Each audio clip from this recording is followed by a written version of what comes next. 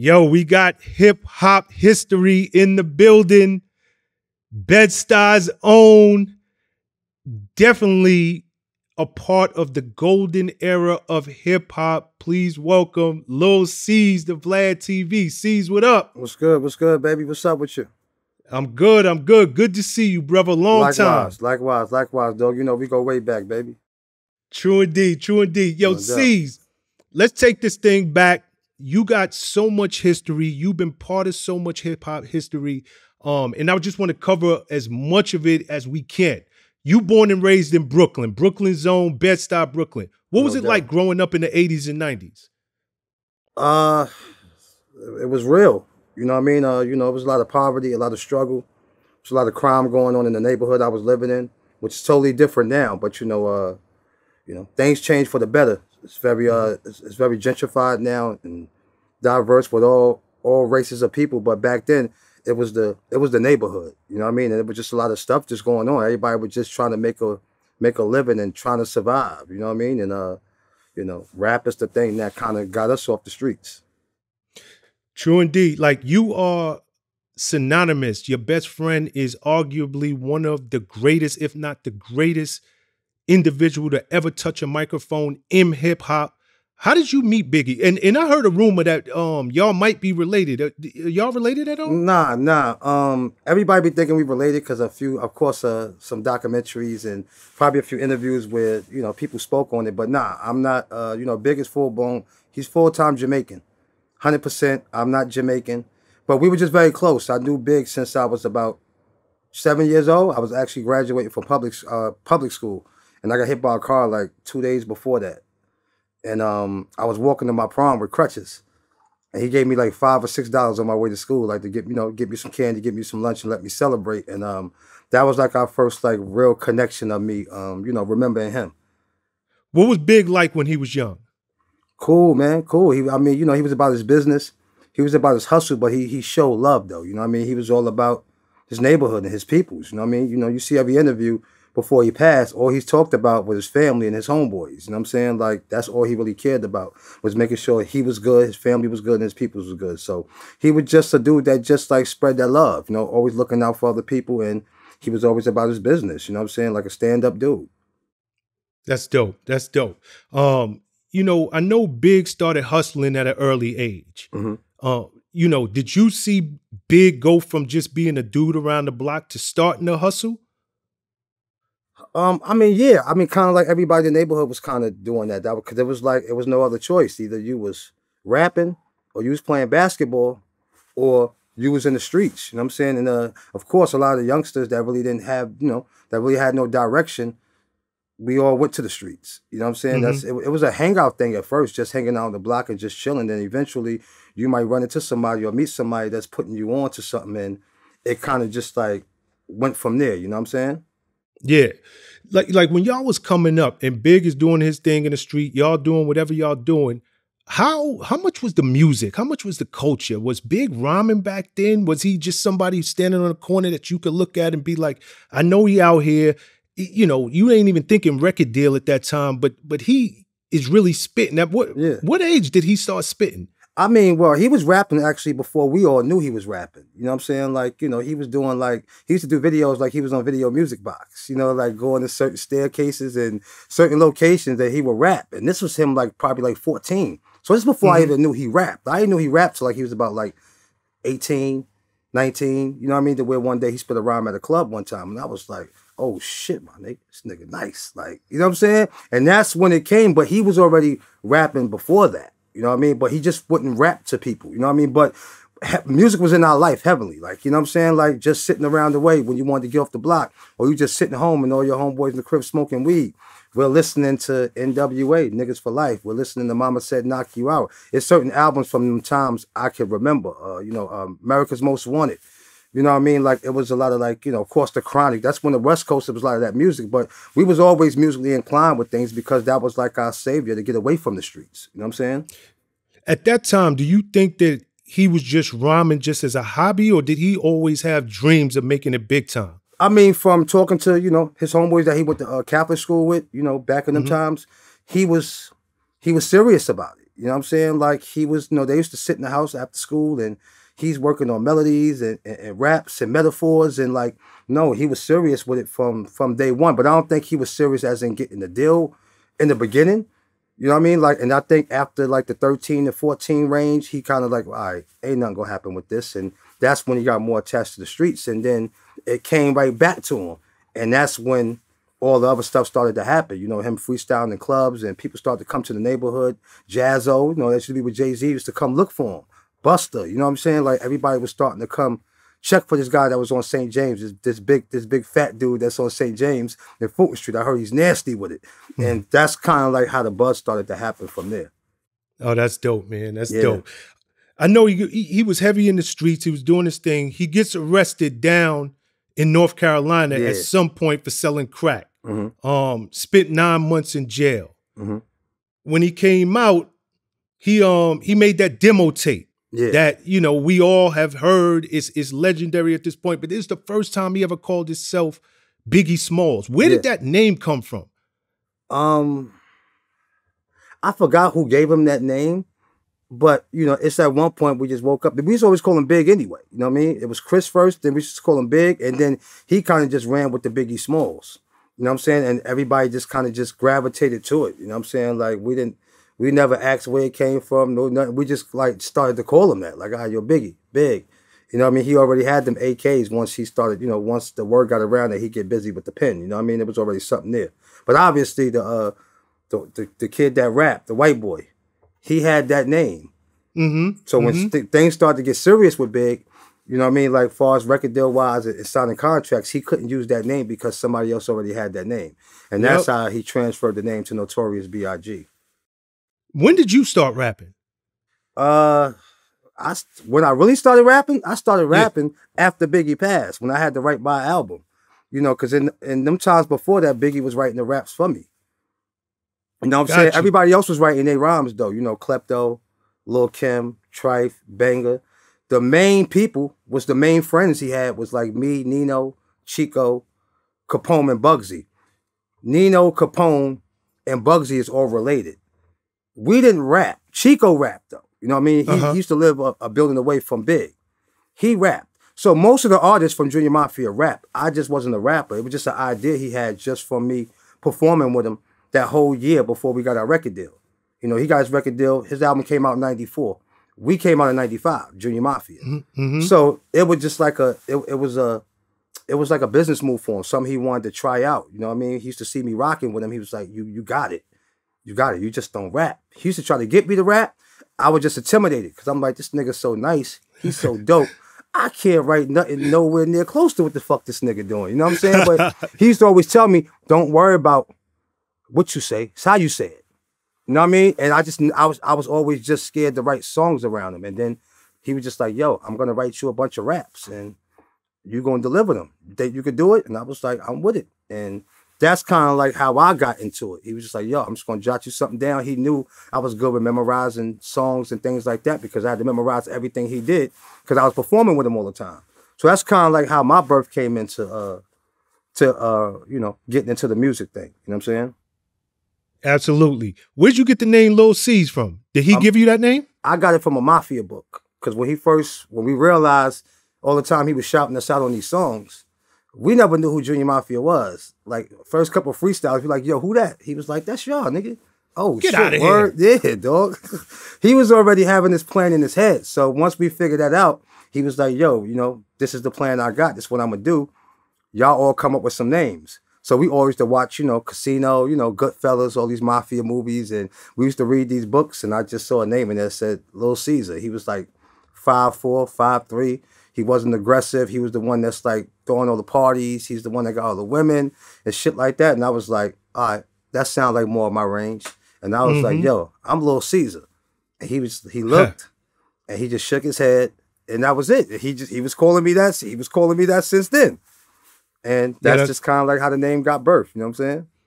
Yo, so what was it about you? And because everybody, when they think of of big, they think of Lil Cease. When they think of Lil Cease, they think of big. Like y'all two really had a special bond. But Mhm. he had a lot of people around him. You just mentioned some of the people who was in the Junior Mafia clique. Like, what was it about y'all two that really just connected and you becoming his best friend like that?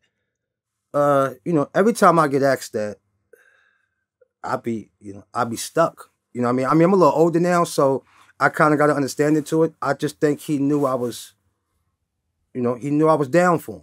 You know what I'm saying? Like, you know, it was a lot of people that was down for him. Don't get it twisted, Mhm. but it was just, it was very seeable with me. It was very visible and you could feel it. Like I was just outside of being the homeboy, I was his biggest fan too. You know what I'm saying? Like I, I used to be amazed by what he was doing. You know what I mean? Outside of knowing him for all them years, I used to still sit back and be like, can't believe you saying that shit, dog. Like, yo, my nigga, you yo, you nigga, you that nigga, dog. You know what I'm saying? Like, and he he just knew, like, all right, this little motherfucker down for me. He knew where my heart was. And out of all the little young guys, I was the one that probably was reachable talking wise. Like, you know, some of the, you know, some of my homeboys back then, like the Nino and them, you couldn't reach. These little they was already active and moving. And now I was just kind of just following suit, just chasing them. And Big B I knew like that ain't you, dog. That ain't you. Like, nah, you know, when I used to try to hustle, he'd be like, nah, you uh he used to lie to me. He wouldn't say no. He'd be like, nah, nah, I got you next week. Nah, I'm gonna let you come out of town with me when I come back.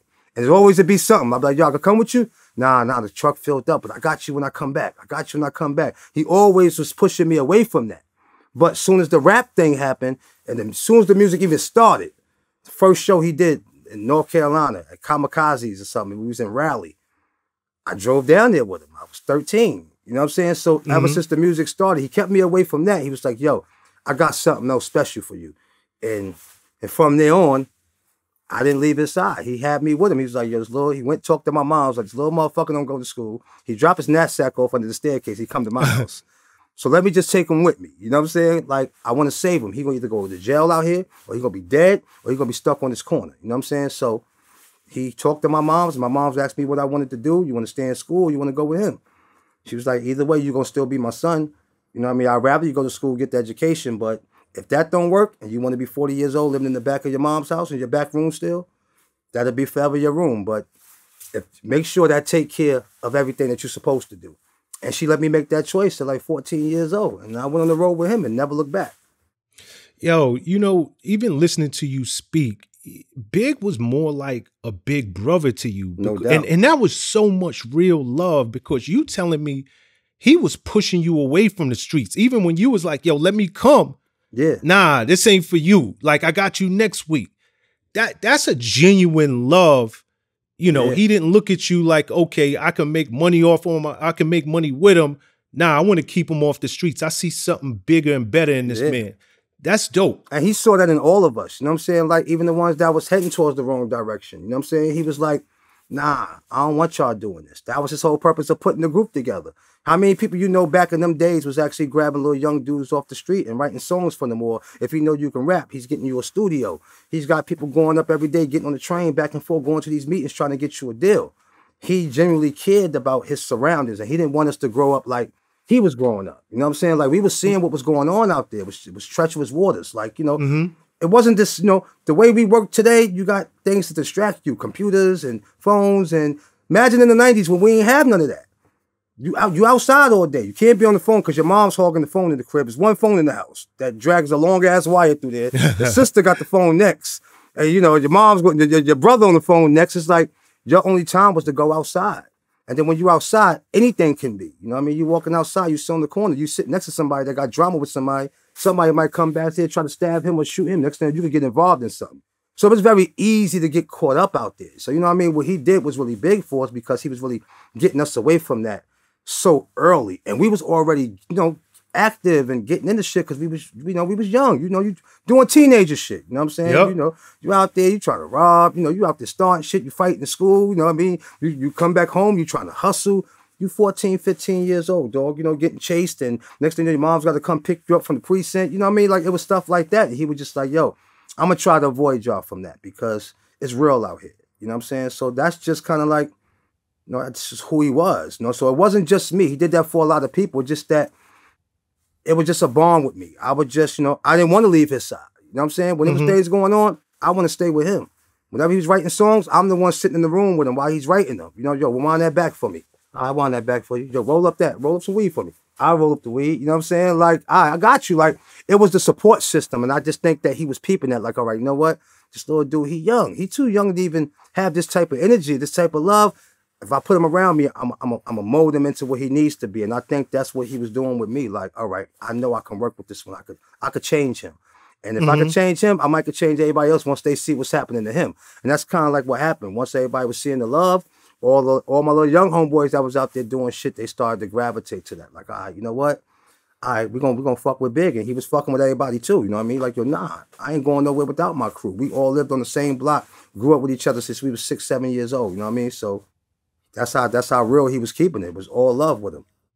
Yo, did you did you ever look at this man? You said you was there when he was writing rhymes and all that. Did you ever look at this man and understand he on a different level because he didn't even write. Like like Big would just sit there and come up with these crazy verses Mhm. in his head. Like how was y'all when when you first started to notice like he's different I mean, in Like- the be- in the beginning of Ready to Die, he was writing. in the You know, beginning? yeah, okay. yeah. In the beginning, he was writing. You know that yellow, that yellow pad mm-hmm. or the uh composition book. You know he no, it's it's raps. I'm sure his mom still have that that was left in the house. Like he was writing. He ain't started the no writing thing till like right before life after death. You know what I'm saying? Like he started to lock in it. You know, it was the exercise for doing it so much. You know what I mean? Like he started to lock in on memorizing things. But in the beginning, he was definitely writing. But just the stuff that he was writing, you know what I mean? It was just a you know, for a 14 year old was amazing to me. And then Mhm. being at the age I'm in now, you know, I'm 44 years old. I look back now, I'm like, damn, he was only 21, 20 years old, you know, writing everyday struggle, you know, writing me and my bitch, writing suicidal thoughts at 20. I'm like, yo, what you, you know, like, was you really thinking about that? You know what I'm saying? Like, you know, you sitting back high, like, yo, dog, you really was thinking about killing yourself? Like, you know, but you know, he he told you how his mind state was of that. It's like, nah, just everything you're doing, you know, you're, you're risking your life every day. That was the whole title of Ready to Die. He was like, yo, it's not like I'm ready to die, but I'm doing all these things that I can get caught up and get killed, or I can get caught up and die. So you're you're risking your life every day if you're going out there robbing, you're going out there hustling. You know what I mean? You, you're out there doing shit. Yeah, you're risking your life every day. So yeah, you're ready to die. You know what I'm saying? And I should just I should just be amazed by what he was writing. And I'm like, yo, we so close to this. But in them times, you didn't think he would make it. Cause back in them times, it wasn't like you just like, yo, we from St. James and Fulton. Dad crack a Bed-Stuy in the hood. Man, this shit ain't gonna happen. he nice as fuck though, but this shit ain't gonna happen. That was just your, you know, that was just our energy. We didn't think nobody would make it from our neighborhood. It just seemed like it was just something that was just unheard of. You know what I'm Yeah. saying? So Yeah. of course it was shocking, but I always thought like, yo, no matter what happens, man, you one of the dopest motherfuckers I ever heard in my life. And I'm like, I used to always tell, I ain't saying that nigga because we, you know, because we brothers. I'm like, no, dog, you're you're different. And I used to watch how people treated him, like other artists, like, no, nigga, you are amazing, bruh. Like, you know, people used to come to our neighborhoods for him. That's when I knew, like, all right, all right, this shit really real. This shit could change. You know what I'm saying? Mm-hmm. Mm-hmm. Yeah, speaking of people coming to your neighborhood, I know in 92, like like 91, 92, Mister Cee, he Yeah. gets his hand on Biggie's demo tape, gets his over to the source, which we know at that time the source was Source was on It- it- fire. Was source on fire. was on fire. They used to have Oh. the Source van run around with the big ass speakers, remember? Yep. And they used to come through through avenues, bumping whoever album came out. Like, yeah, Source was it. Yo, so when Biggie turns up in the unsigned hype section of the source, Mhm. did y'all start? Because you was like, yo, you know, we young at the time. We don't know if this is really gonna happen, but that that's a major step because unsigned hype. That was one of the uh, uh, premier articles in the source that everybody was looking at. Yeah. So was at, at that point when when Big turned up in the source, was y'all like, yo, this could be real? Like like we could really really take this thing. I mean, you know, we was excited, but we wasn't too excited. It was just like, you know, it was dope to see it, but we looking like, all right, it's a little page, all right, you know, unsigned. You're not thinking nothing gonna come from that because, you know, we wasn't really seeing people get deals from that or see people blossom like how Big did from an unsigned hype. You know what I'm Mhm. saying? It ain't, get- but that got the attention of Puff. You know what I'm okay, saying? that's where we going Yeah, you know what I mean? Yeah. That got the attention of Puff, so it, it did work out. You know what I mean? So he come back like, yo, Puff want me to come to his office, you know, and we all knew at this time, you know, Puff wasn't Puff, but Puff was working with, you know, Jodeci, Hev, Mary, you know, Yep. Andre. So we knew who he was. So it's like, word? Like, dead ass? You know what I'm saying? Like, he's like, yeah. I didn't go with him to that meeting, but you know, D-Roc, you know what I'm saying? My brother D-Roc went with him. And um, that's when it was like, okay, this shit, you know, this shit is something. And he came back and he was all smiles, like, nah, he ain't shoot me down. Nah, he trying to sign me. We like, what? Nigga, he trying to sign you. That's when shit was like, all right, let's go get some, let's go get some beers. Let's go get some St. Ides. You know, this is St. Ides era shit. You know what I'm saying? Let's go get some St. Ides. Let's go get a bunch of dime bags. And we're about to go on top of his roof, get high shit, and manifest this shit. You know what I mean? That's kind of like just what we did. You know what I mean? Like, because we knew it was real at that point. Not to say it was going to happen, but just the fact that somebody like Puff Daddy reached out to him and wanted to actually meet him and see him and was like, yo, you nice. You actually everything I heard on that demo. Mm-hmm. Yeah, it was it was, it was on and popping from there. Yo, then then Puff put him on the Mary J. Blige Real Yeah, Love that's- remix. see- yeah. Actions speak louder than words. He was like, all right, I ain't just sitting here telling you that. Here, you know what I'm saying? Like, look, I'm a, I'm gonna let you know it's real. And that's how he was like, you know, he was schooling Big. Like that's when Big was starting to learn how to how to rap. Yo, this is not just give me 12 bars of this. Big, like, what's bars? I'm gonna show you how to count these bars. And Mm-hmm. here, I just need 12 bars right here. Eight bars. And then he put them on the uh, Super Cat joint. Then he threw him on the uh what's that? What was uh he did a heavy D record. I forgot what record it was, but he did a record with Hev. And then of course his relationship with Tupac, he had the uh the joint with him and Pac and uh Grand Puba. There's a few other Mhm. people on that. Um and that's when he was just getting his, you know, just the features, you know what I'm saying? And outside of that, you know, he doing shit with Onyx, the Who's Party and bullshit they threw on the Who's the Man soundtrack. like, yep. you know, he was really investing in Big at that time because he knew he knew what he knew what we knew. This nigga Yeah. special, dog. And just to get that love from him, we knew, like, okay, if Puff fucking with him, oh, this shit is real. You know what I'm saying? Like, come on, what better person to have at that time, you know, schooling you and, and really pushing you there? Puff was like one of the hottest like executives at that time. You know what I'm saying? So just for him to grab big and he felt like he found something. He was like, yo, I got something different right here. And he invested, he invested that shit into it and look what came from it. You know what I'm saying? Yeah, what like you said, it was no longer just talk because Puff was he was showing improvement. He was putting them on all these different records, all these different remixes. But what people don't realize about Puff, Puff is is damn near Big's age. He's about a year, maybe two older at max. Yeah, so yeah, yeah. Just about like three years, like two or three years. I say. yeah, Yeah. huh. So as Big is starting to get these features and Puff's putting them on these different records, how real did it get for Big at that point? Did he start to say to himself, I'm going all in with this rap thing? Or did he have one foot in the streets and one foot in the music industry? It wasn't even one foot in the streets. Of course, we were still uh, uh, uh, attached to the streets. You know what I'm saying? Because nothing was nothing wasn't solidified money wise and contract wise. So we were still dipping in the streets, but the music was definitely serious. I mean, you know, nah, we in the studio every day now. You know, he's working now. You ain't got time to be in the streets no more now. You know, I gotta go do this Dolly Cat, uh, this you know, this Super Cat verse. Then a week later, you shooting that video. You know what I'm saying? Then yo, I gotta go to Hev Studio, go do this with Hev. Y'all gotta go in and do this song with Onyx and uh, Naughty by Nature. Like it was like constant work because I think Puff was trying to keep him off the streets. Let me keep you busy. Let me keep you busy because it was easy to go right back there. Because that's where we was going back to once we leave the studio. Once we leave the street, we coming from the studio three in the morning. We right back on the block, four o'clock in the morning, listening to that shit. After we yo, let me get a copy of that. Yo, go get the radio, get some batteries. we gonna blast that shit now to the niggas that didn't come to the lab. Yo, what you think about this show? Oh, that shit fire. Shit crazy. You know, niggas would be stealing tapes and all type of shit. Like, so we were still there because that was still home. But nah, in the streets and dealing in the streets, nah, he was kind of slowing up on that because he see what was actually happening. You know what I mean? Like, you wouldn't want to hustle if you go in the studio, you sitting in there with Onyx. And the next day, you in the studio with Hev. Next day, you in there with Sadat. You know what I mean? Next day, you in there with mm-hmm. Meth. You know what I mean? Like, shit is happening like this too. It, it, it was it was fast. It was fast. was It was, fast. fast. It was fast. It was going in there. That's what he loved. You know, outside of the, the, the, the shit, he loved the music.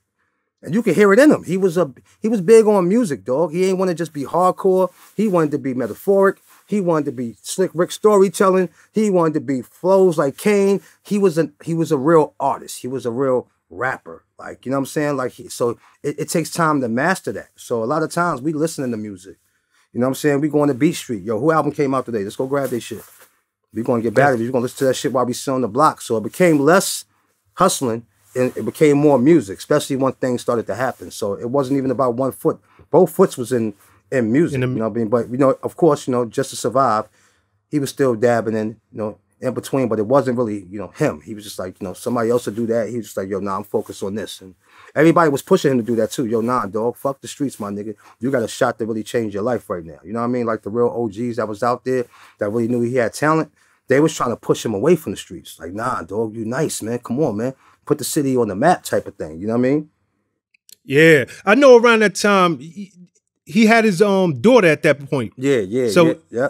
Did did that make him more focused on the music? Like, yo, I I, I gotta blow. Yeah, definitely, definitely. That was like, you know, that was like one of the pivotal points where he was like, all right, I gotta take this shit serious. You know what I mean, because uh, you know, that's when he started to realize if I sit out here and I get caught up, I won't be here to take care of my daughter. And his mom's was on him too, you know what I mean? Knowing he was hustling, his mom's Jehovah Witness, you know what I mean? Mima, we called Yeah. her Miss Wallace. She was totally against all that, you know what I'm saying? So, you know, he knew he was doing something to disappoint her. So he was really trying to get out of that. You know what I mean? It was for his daughter, it was for his moms, and he wanted to get his homeboys off the street too. You know what I mean? Like, you know, the home, you know, his, his niggas was major with everything. You know what I mean? That's why he did what he did for us. Like, that was really major for him. Like, that's just who he was too. That was just in his nature. That was in his heart. Like, yo, if I'm on, if I got money, you gonna have money. Yeah, I'm gonna bust you down till you get your own though. You know what I mean? Like, here, I'm gonna help you out. Got you. You know what I mean? If I got five hundred dollars, I'm giving you two hundred. Here, you take the other buck, I'm gonna chuck in two hundred. But it's only gonna be it's only gonna be temporarily. Before you know it, he like, now you got your own five hundred. Now you bust down your two homeboys. You got your five hundred. You bust down your two homeboys. That was his mind state. The dude was man. The dude was sharp as a mosquito's needle, man. Yeah, nah, that's dope, man. Um, around the same time, you know, another legendary figure comes into his life, Tupac. Yeah. Uh, was you there when he met Tupac for the first time? Nah, I wasn't there when he met him the first time. I think that was out of town or something too. I think he met him. I think it was at some event. I think he went with Puff or something. He was out of town. I think when he met him the first time. How close? How close did they really get in real life? Man, it was close, though. Close.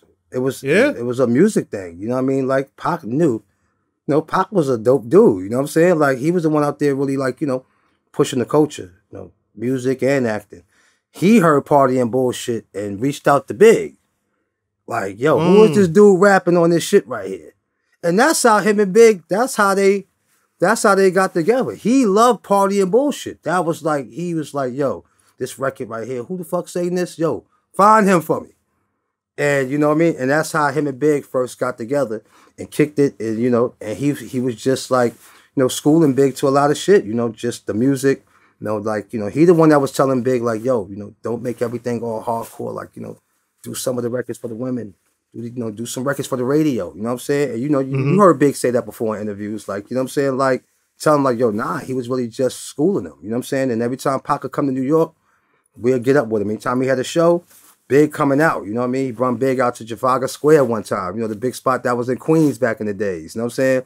We performed at the Ritz with him one time. Like they they really bonded and it was like a, a music thing. And Easy Mo Bee played a part in that too, because Easy Mo Bee was a producer. He was producing for Tupac and producing for Big. You know what I mean? So it was just there. They was just tight from the rip. Both Geminis, both was going through that same struggle. So yeah, they was really like dope friends. He used to come hang out. That nigga came on Fulton Street a few times, hung out with us, you know what I mean? Kicked it. You know, that's why we was stuck on him. Like, yo, this is a real motherfucker, you know, because back in them times, Fulton Street was, and just to see somebody of his stature on Fulton Street, like, oh, you a real motherfucker, dog. So he would literally come to Fulton Street and hang out. Yeah, I remember the first time. I think that was the first time I met him. He came on Mm. Fulton Street one time to pick up Big, Mm-hmm. and I just started hustling for Nino, for my group, Yep. because I told you Big wouldn't let me hustle. I think I hustled about a week, two weeks. It ain't last. and uh, that day I had my shit on me. I didn't want them to leave me, so I didn't want to go home and put the stuff in the crib. So I just kept it with me because I was like, yo, I'm going. You know what I'm saying? And we went and uh he brung Big out to one of his shows. And I remember when I came back home, I was I was drunk, I was high, and I was walking through my crib and, and all of the jacks of the crack was like trailing through my house. Mhm. And I went and just laid straight down on my bed. And I remember my mom was waking me up, like like trying to take off my clothes. You know, back in the day when you sleep in your clothes, Yeah. your mom would take off your sneakers and and I was just like, yo, mom, what's wrong with you? Why you doing that? So when I woke up the next morning, my sister was like, you know, my sister used to be in the streets, my oldest sister, you know, she she she went through a lot of shit. And um she came and she pulled me in the room and she was like, So you hustling? I was like, nah. She was like, Don't lie. You know what I'm saying? I'm like, Yeah, a little bit. And she was like, Yeah, I know, because you know, you came in here drunk and left a trail of fucking crack coming through here. And you know, that's why you said that's why moms was trying to take off your clothes and all that because she was searching through your pockets and stuff.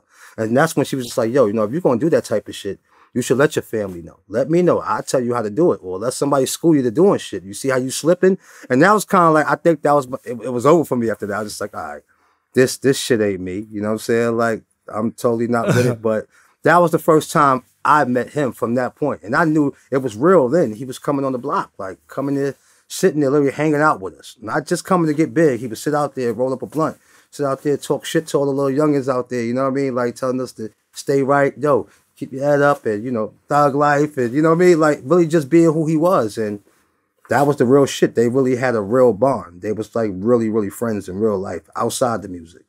Hmm. Yo, is it true at one point, um, I don't know if it was big or somebody in the crew, but some guns got left behind in a hotel room.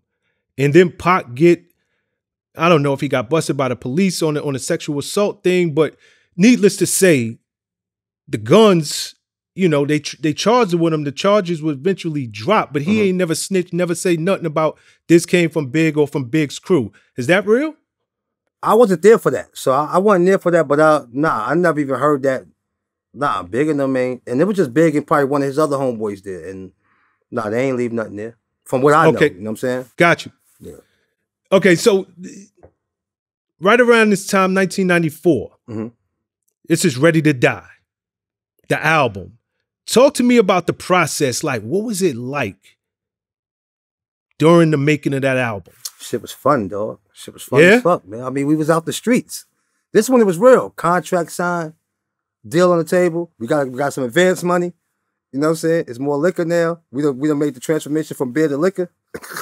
you know what I'm saying? It went from uh, you know, just regular green weed to Branson. You know, things started to change. And it was just fun being off the streets. You know what I'm saying? Like, you know, we ain't on the block no more. You know what I'm saying? You're in the studio every day. Home, everybody. We 20 deep in the studio. You know what I mean? C Gutter, D-Roc, everybody's in the studio. So it was like, you go on the block now, the block is clear.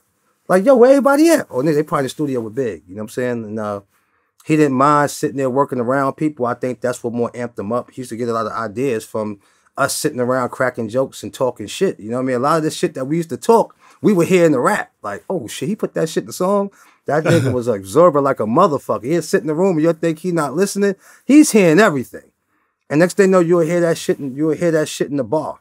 Or hear that shit in the hook. You know what I'm saying? But it was fun. It was just us off the streets and watching him create, man. It was like, you know, you was watching magic happen. That was us just, you know, being in the studio, then Puffer coming in, spice some shit up, you know what I mean? And make this shit sound crazy. And us being kids, you know, we 15, like 14, like, oh shit, mother, we sitting around Puff Daddy every day.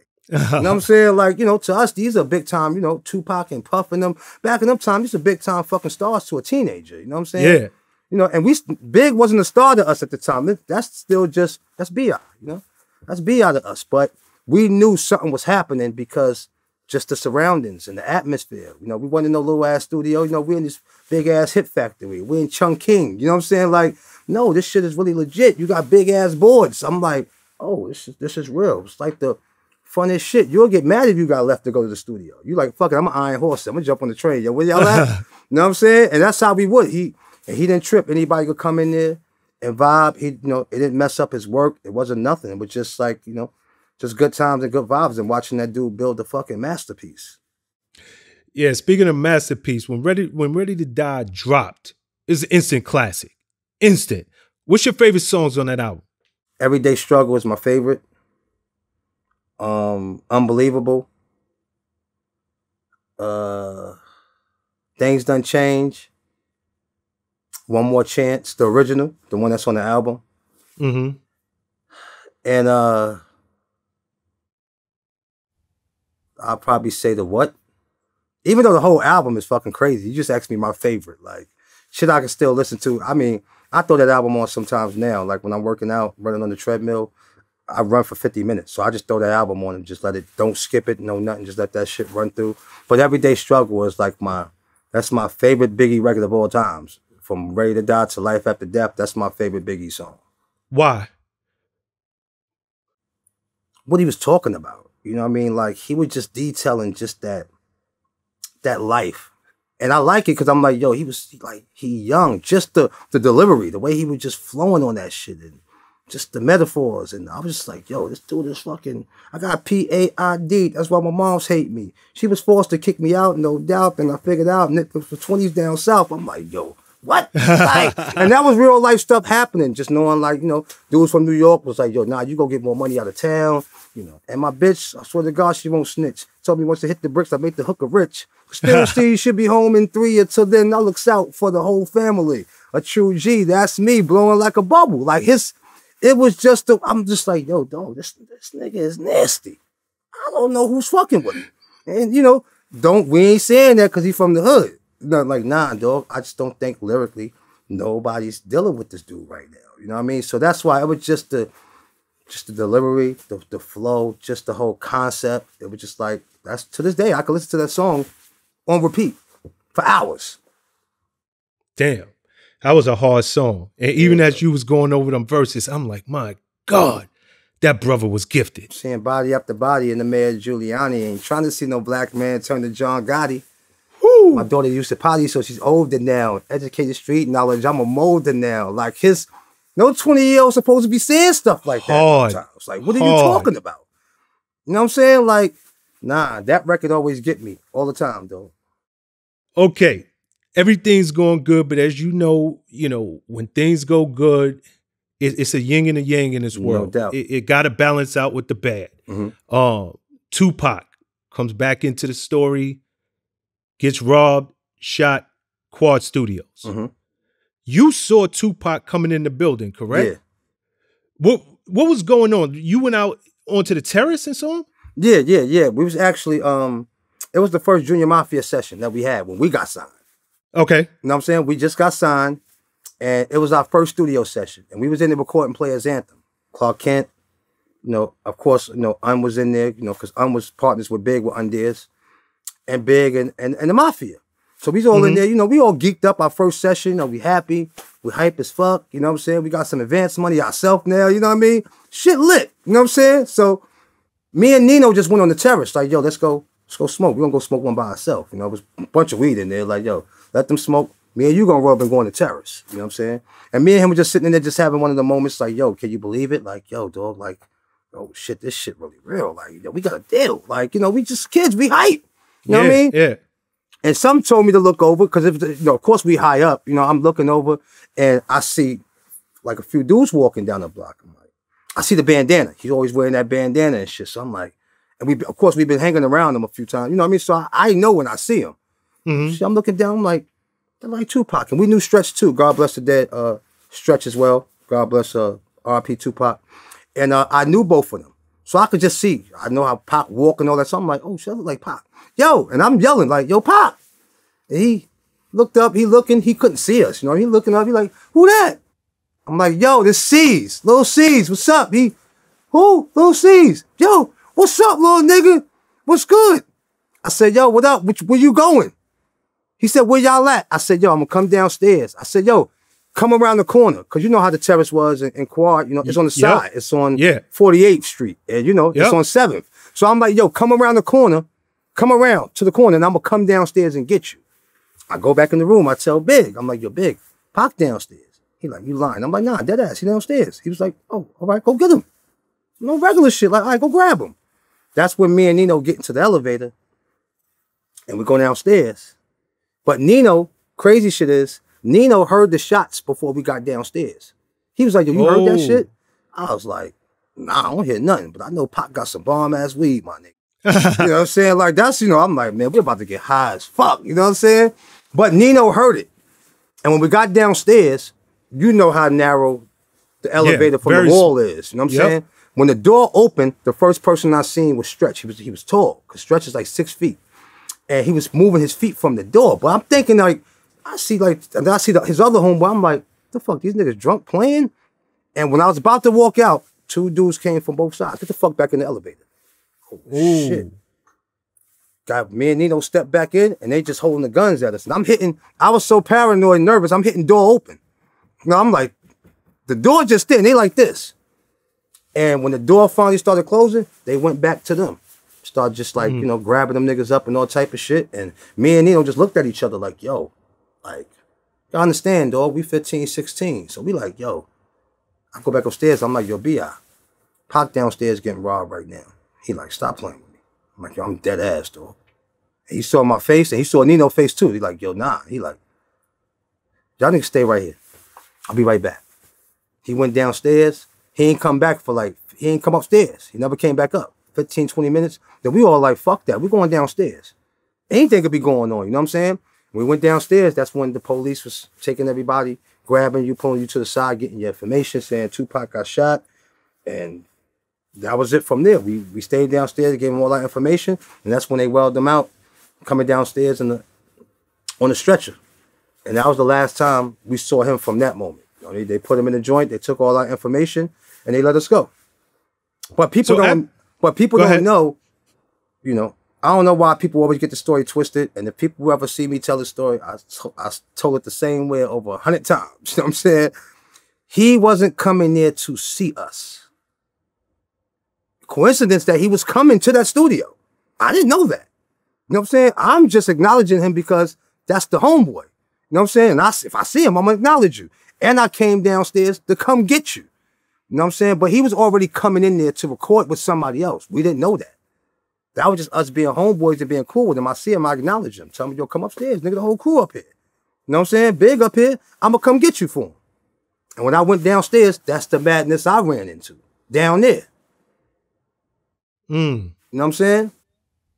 So he wasn't coming there to see us. People always be like, yo, nah, he didn't come there to see us. He was he was coming there to record with somebody else. We don't know.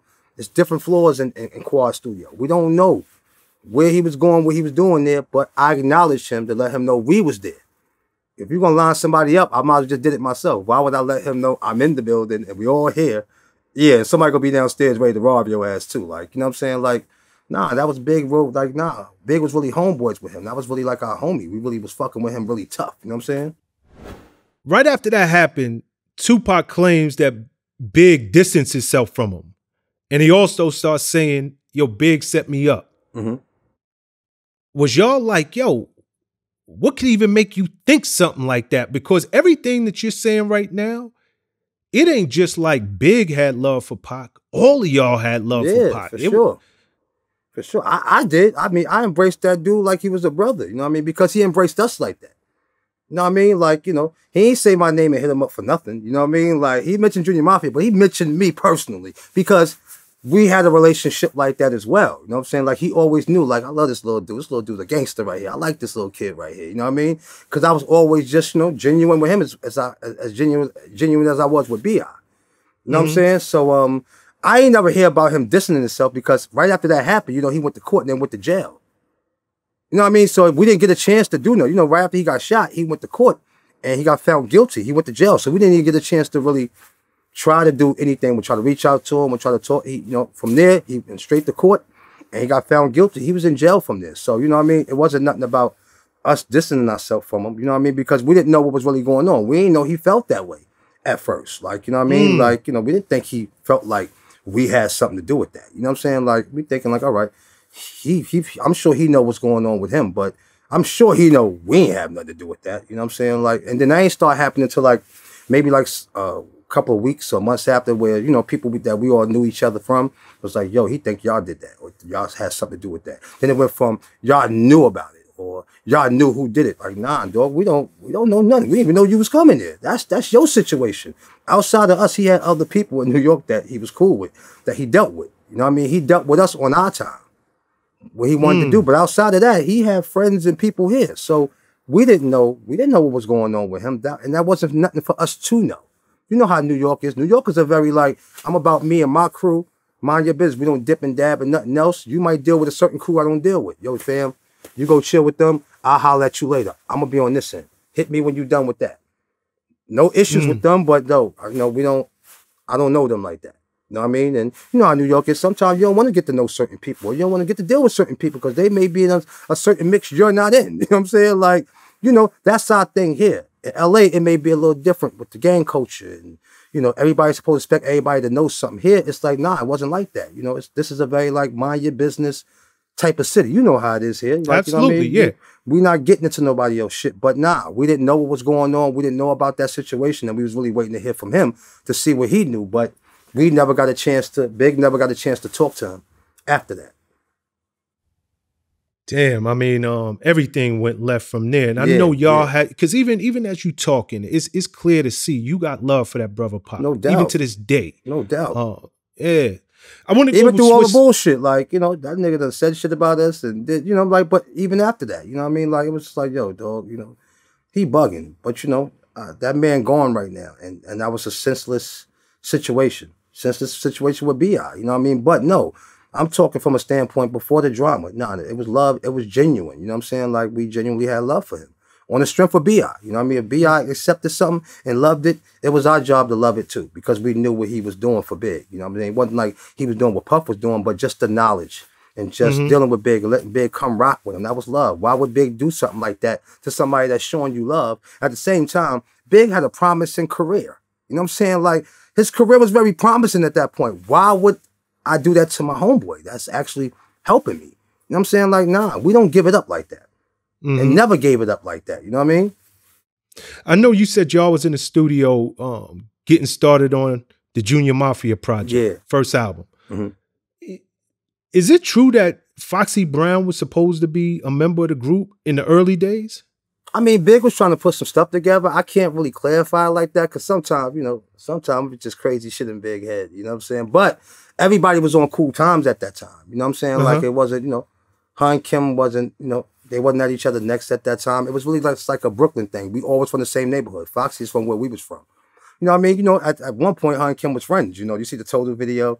They did the Mhm. Source magazine together. So it's not like it could not be true. But you know, Big was trying to line something up. He was just trying to like just grasp everything that was from the neighborhood. You know what I mean? But I ain't never hear he was trying to like really put her in the group. But you know, he was really trying to deal with her on some music shit, just as you know. But Kim was the main culprit. You know, for far as with our group and everything. You know what I'm saying?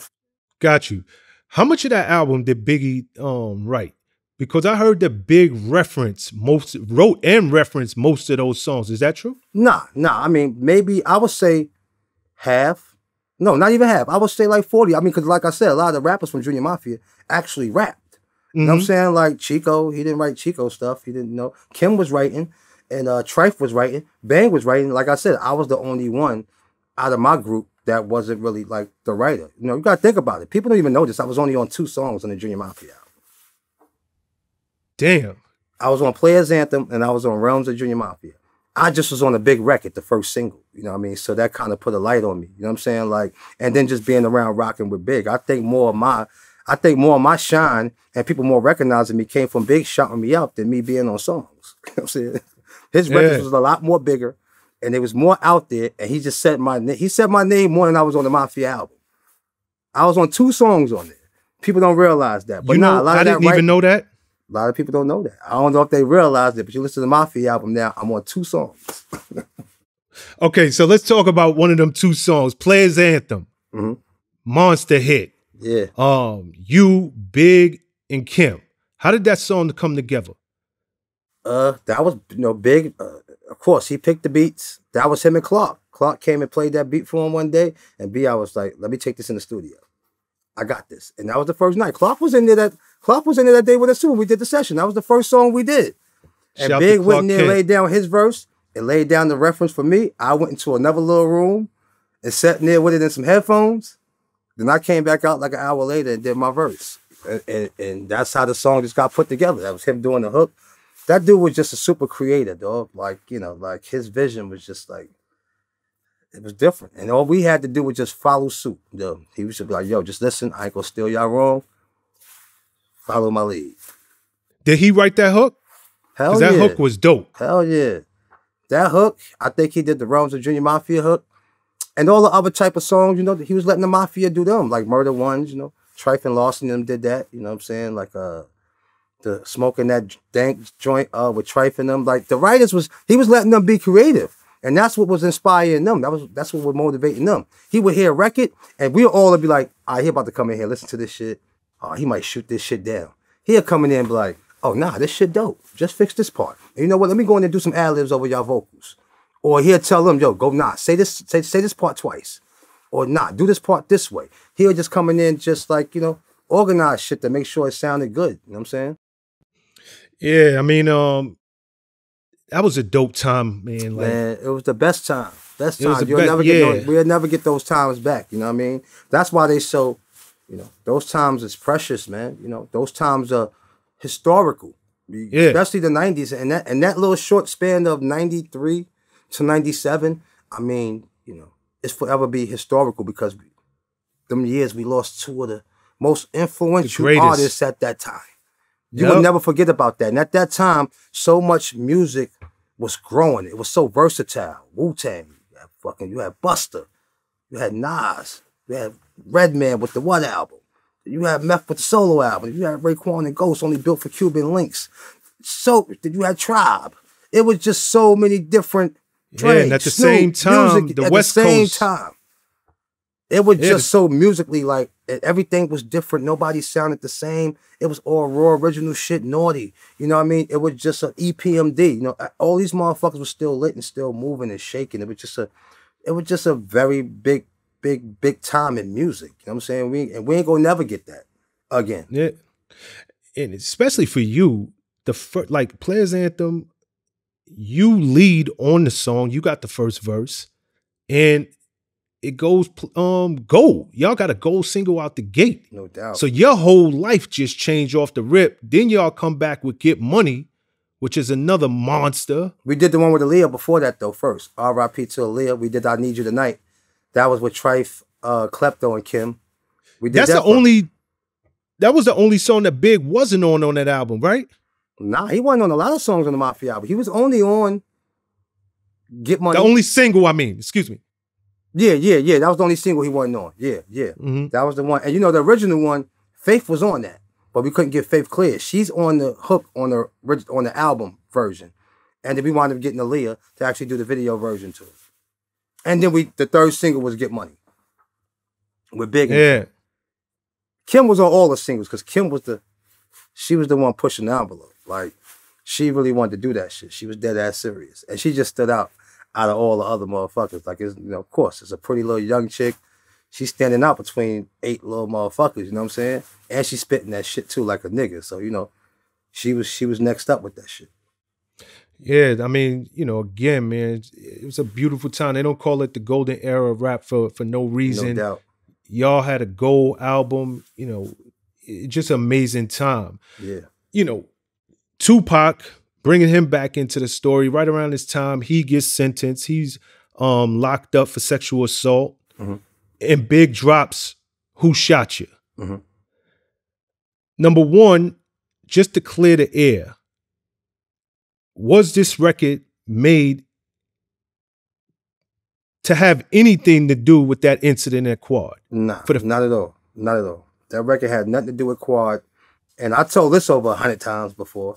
And you can go on YouTube and look it up. The first time Big did that first verse to that song, it was for Mary J. It was for her second album, My Life. That's supposed to have been the intro. The original Who Shot Your song is Keith Murray, LL Cool J, and Big. Puff Daddy scratched the record off the intro because like this is too hard for an R&B song. like I, I can't put this on the R&B album. Shit is just, you know what I'm saying? So that record was done before that even happened. What Big did was, all right, let me get the song. I'm gonna throw another verse on it, and he kept the record. And I, I you know what I think because uh, I actually talked to um, who I talked to about that. I don't know if it was Young Noble because you know I fuck with the Outlaws. Shout out to the Outlaws, Young Noble, Mhm. EI. You know, R.I.P. to Fatal, Kadafi. Those my brothers. So we talked about that, and they was like, you know, we just they felt like probably it was just the timing of it. And you know, back in them times, we didn't think about timing on records. You know, we wasn't controlling when music come out at that time. Yeah. You get what I'm saying? Like, you know, Puff Daddy gonna let us know, yo, I'm doing the B side. He's just gonna drop it. B, I'm not gonna be like, nah, don't put that out right now. That wasn't on your conscience when your conscience is totally innocent. You know what I mean? You're not thinking like, oh, I'll put this out right now. I don't want him to trip about this. It's like you're not. Mm-hmm. You're thinking he don't even. He he know about this record. He know about this. He ain't. You know we, that's not on your mind at that time. It was just a B side song, and the shit took off, and then we hear about that. Like he think that record is about him. He know that record is old. That record been done. That was done six months ago when they supposed to been on Mary J album. So if you go on YouTube, you might hear a little bit of it, and when you go on Mary album, you'll hear a little bit of Keith Murray rhyming to that beat. Mm. Turn on the Mary intro album to My Life, and you'll hear Keith Murray rhyming to that shit, like to the intro to it. He's rhyming to a little bit of Who Shot You. So the record is old. It wasn't about that. I just think the timing of it. As I look back today on it, yeah, the timing probably could have been wrong, but that wasn't in it wasn't in our control. We didn't think like that. When you just know you ain't have nothing to do with nothing and nothing is about nobody, you're not thinking that way. Like, yo, let me be cautious about how I put this record out, when I put it out. You know you my homeboy, and I know you know this record wasn't about you. You know it was done before you. Why would I ha- why would I have to think that way? Mm-hmm. You know what I mean? So I just think that's just what it was at that time. You know what I mean? But everybody in the world know that record was done way before that. So definitely wasn't about Tupac and the Quad situation. Yeah, I mean, it- I wanted to put that question out there just to put it to rest. I mean, that record was clearly made before that incident even took Yeah, place. and it's facts on these. I ain't you ain't got to believe Yeah. me. Yeah, you could go you could go search it, Google it. Like I said, throw on the Mary J album or go on YouTube. I'm sure YouTube be having everything. I'm sure it's still on there. It was on there before, and you could punch it up. That record was done before that. All right, so Pac eventually gets bailed out, Mhm. heads on over to death row. Um, one incident that now now the the the, fire is starting to flame a little bit higher, hmm right? Um, what started out as a little, just a little spark, Yeah, it's really starting to blow now. Was Mm-hmm. you was you there for the Source Awards when Suge got on stage and Yeah. said the whole? You was there? yeah, yeah. That was before Tupac got released, though. Yes, it yeah, was that before. was before Tupac got released. What was it like? Because now this is starting to feel like it's bigger than just two people. Yeah, Now it's starting to feel like, all right, once upon a time, two artists might not be seeing eye to eye, but now you got two record execs, and it's feeling like it's turning into a coast versus a coast. yeah. So when Suge did that, did it catch all y'all off guard? Hell yeah, because we didn't think it was. We didn't know about. I didn't know if him and Puff had no. We didn't know about them having no issues and situations like that. We didn't think nothing of it because while we was there doing rehearsals and things like that, we was actually seeing them, seeing Dad, seeing what's up to Dad, seeing Snoop, what up, and you know everything was all fine. We thinking everything is all love. You know what I mean? They had other issues going on in there. You know what I'm saying? I think MC Eiht was like beefing with uh what's the uh DJ Quik. It was like it was other shit going on in there. Bone Thugs was beefing with I think with Death Row at that time with the Easy E shit. Like, but it was it was cordial and mutual with us. We didn't think nothing of the situation because we didn't know that they was trying to sign Tupac or this and that. We didn't know nothing that was going on. So everything was all love until he got on that stage and, and said that shit. We was like, whoa. Everybody looking at each other like, huh? Really? Oh man, shit could have yo, shit could have went different in there. But, you know, Puff being Puff, nah, we not gonna go that route. We not gonna Mhm. go that route. We gonna let it be. But nah, the the, the Brooklyn niggas, the Biggie niggas, yeah, oh nah, niggas, you know, it, was- it, they was ready to get it on and popping. But you know, Puff, you know, Big really trusted Puff. And, and, and took Puff word like, nah, we're not gonna go that route, dog. And we just, you know, kind of just let it be. You see what Puff got on stage and did total opposite Mm-hmm. after a man dissed him, he got up there was like, "Yo, I got love for the brother.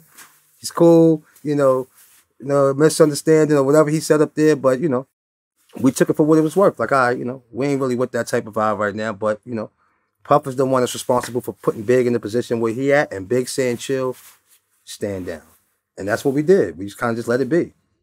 You know, Puff clearly had a major impact on Big because at some point, you know, after Pac get out, he releases Hit 'Em Up. Yeah, And, you know, your name is mentioned three times in that song.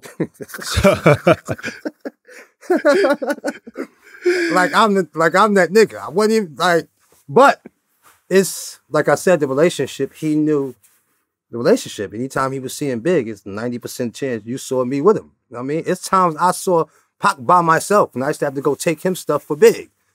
You know what I mean? I go drop him off some shit he needed. Big up like, yo, go take this to Pac. He at the Millennium Hotel. I I jump on the Iron Horse, go see him, and I'm like, here, Big told me bring it to you. Come here, little nigga, smoke one with me. One day I smoked so much weed with that nigga, that nigga fell asleep. I tapped him, was like, yo, yo, I'm leaving, dog. he was on his bed, knocked out. But that's you know, he always like, yo, nah, come smoke. I fucks with you, little nigga. Like, and he'd sit there and kick it to me sometimes. You know what I'm saying? Yo, so where was you the first time that you heard that record? Uh, well, down or was way- your phone blowing up? Like, yo, you gotta hear this. Nah, I wasn't really no real phones and shit like that, but you'll get the word. You know what I'm saying? Like in uh I forgot. Somebody said something. We was down the way somewhere, and I think we we sat in the car and, and somebody played it. And I was just like, Wow. Really? It wasn't unexpected because I knew him, so I knew what he was about. If he felt the way about something, I knew he's gonna he's gonna speak on it. So we already kind of knew it was a little tension from thinking about the who shot you. So it's like, but I didn't think he was gonna go that hard. Like the motherfucker Mhm. with like it's probably one of the hardest diss tracks ever in fucking uh rap music. Like, you know what I'm Yeah, saying? it is. And uh, yeah, first instincts, you heat it. Like what?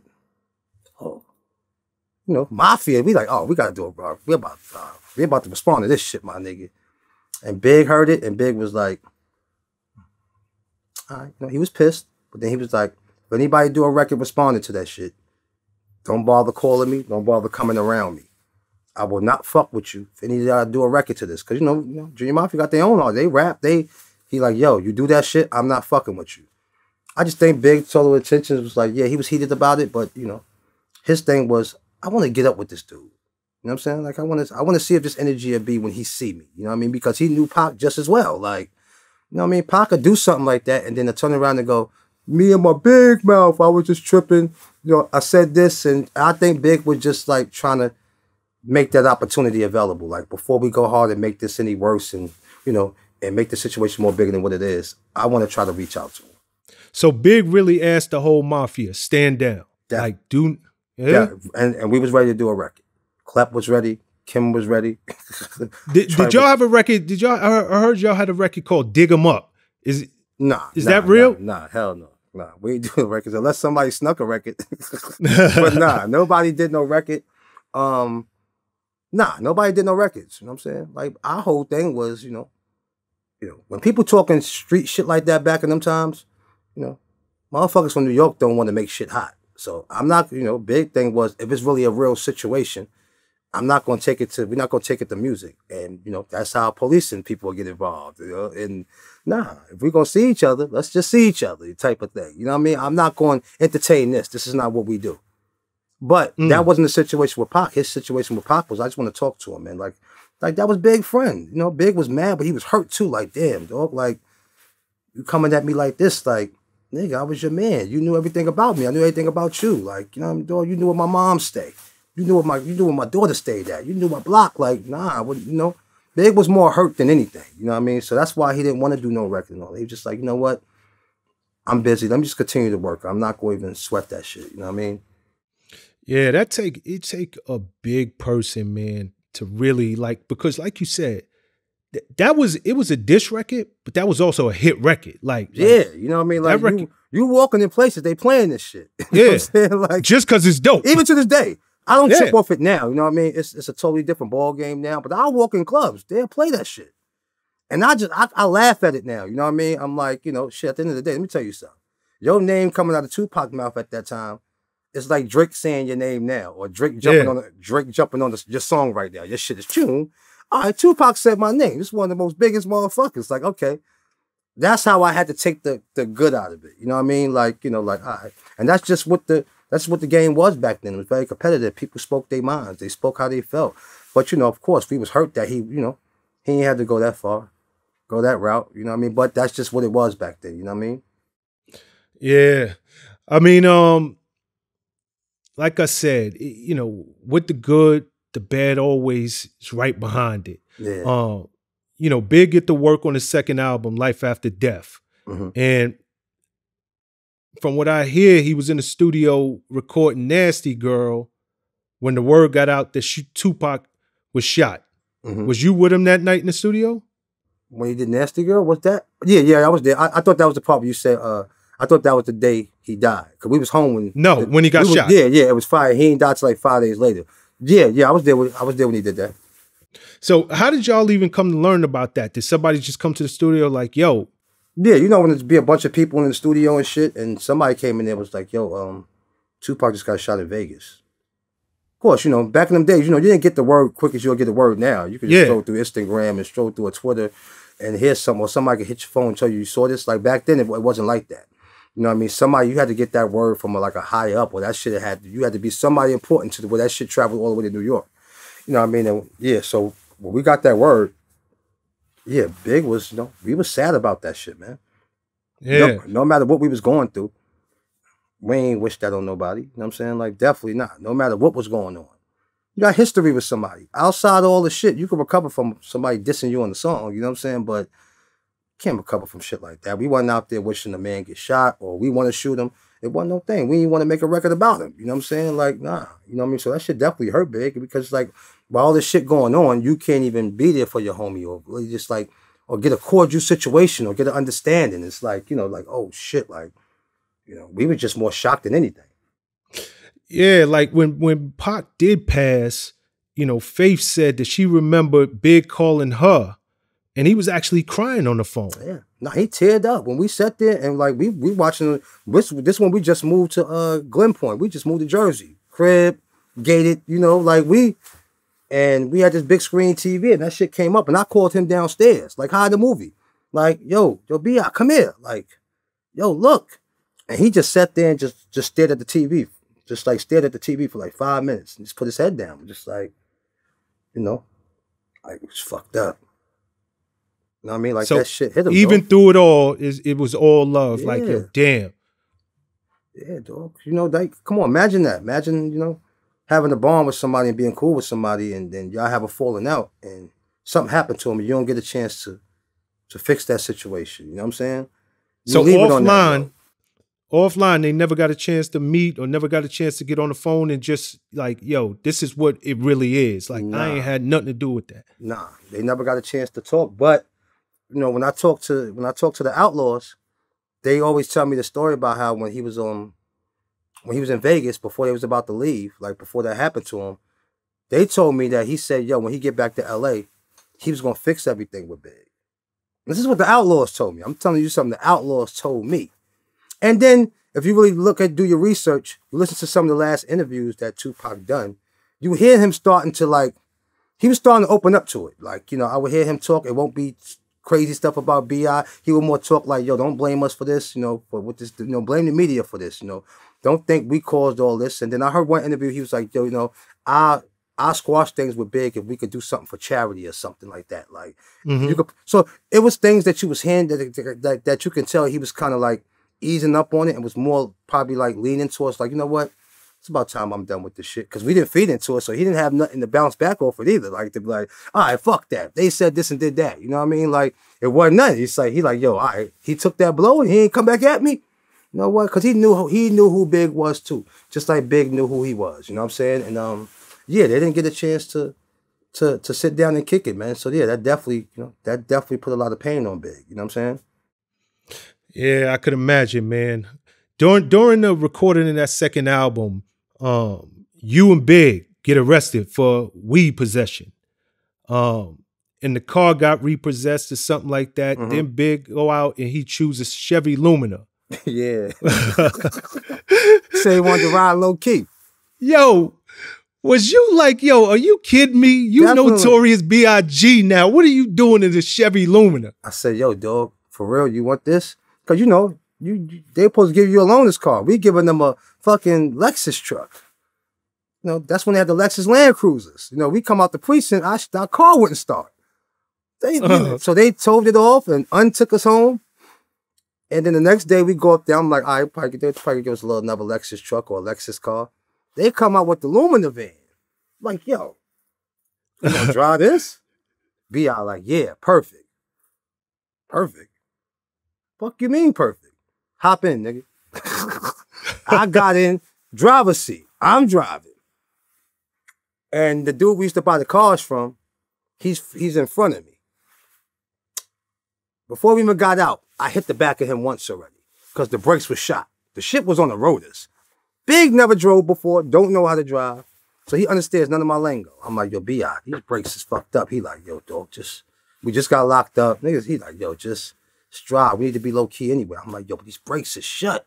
I just ran into the, I just ran into the salesman that we get the car from. Drive, dog. All right. Gets on the highway, and uh, you know, we paid the toll. You know that uh, north and south. I get on the joint to hit that turn, and the car just, and we wind up skirting all the way to the other side of the highway, and ran Mm. dead into a rail. Boom! My face hit the steering wheel. I think Charlie almost, Charlie Baltimore was in the car with us. She almost went through the window. Damn. And Bi was stuck in the car. He could his leg. He couldn't get out the car. So we had to wait for somebody. You know, I'm leaking blood out my mouth, shit leaking, and uh, they had to get. They had to wait for somebody come and take off the door, so they can get him out because he couldn't move his leg. Yo, And, um, you you you know Gene Deal, Yeah. Mhm. OG Security. He Yeah. said Gene said that that accident was a result of Tupac's death because Big was so upset. he was so devastated that he got smoked out of his mind, gave uh Lil Cease the keys, they got smoked out their mind, and they had an accident and Big went through the car window. Could have killed it could he could have been dead then. He broke Okay, both of so- the fibular so- bones in his body. So you're saying that accident that happened between Big and Little Cease, the car accident, was almost like a side effect of Tupac dying? Yeah, that kind of the night. That, that, that, that- it, was, it was like when he heard the Oh. news, it was that night. Or the, Ah. you know what I'm saying? He gets smoked out of his mind because, yo, the kid was hurt. You know what I mean? This this don't set this just sound like the rotors was bad, like they had bad brakes on that joint.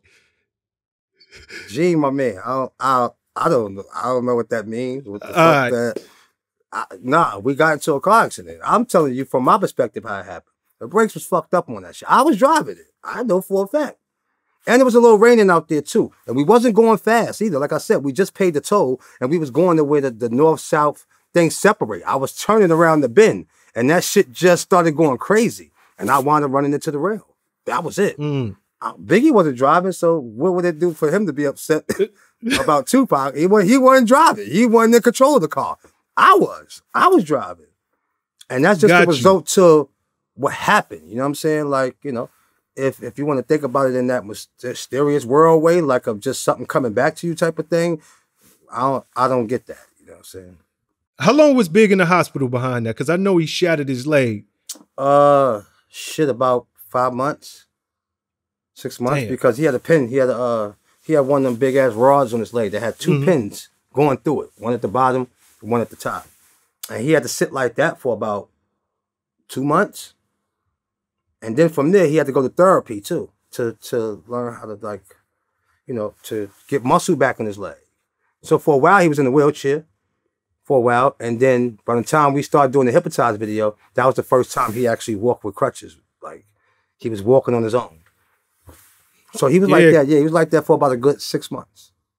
Yeah, but that just show how prolific this man is because he took that incident and one of my favorite songs, The Long Kiss Goodnight, crazy verse. You still tickle me. I used to be as strong as Ripple be to Lil Cease cripple me. Oh, no. First line though, I make your mouth be so beast like Deloise. When I Mm. release, you lose teeth like little Cease. He already done shot me down because I had to. I mean, I ain't. I, I, I- eventually, I'm gonna have to get these shits taken out at one point because that's why. That's how I wound up getting these gold fronts so they could save the four teeth that I had there because I didn't feel like mm-hmm. getting no dentures at 17 years old.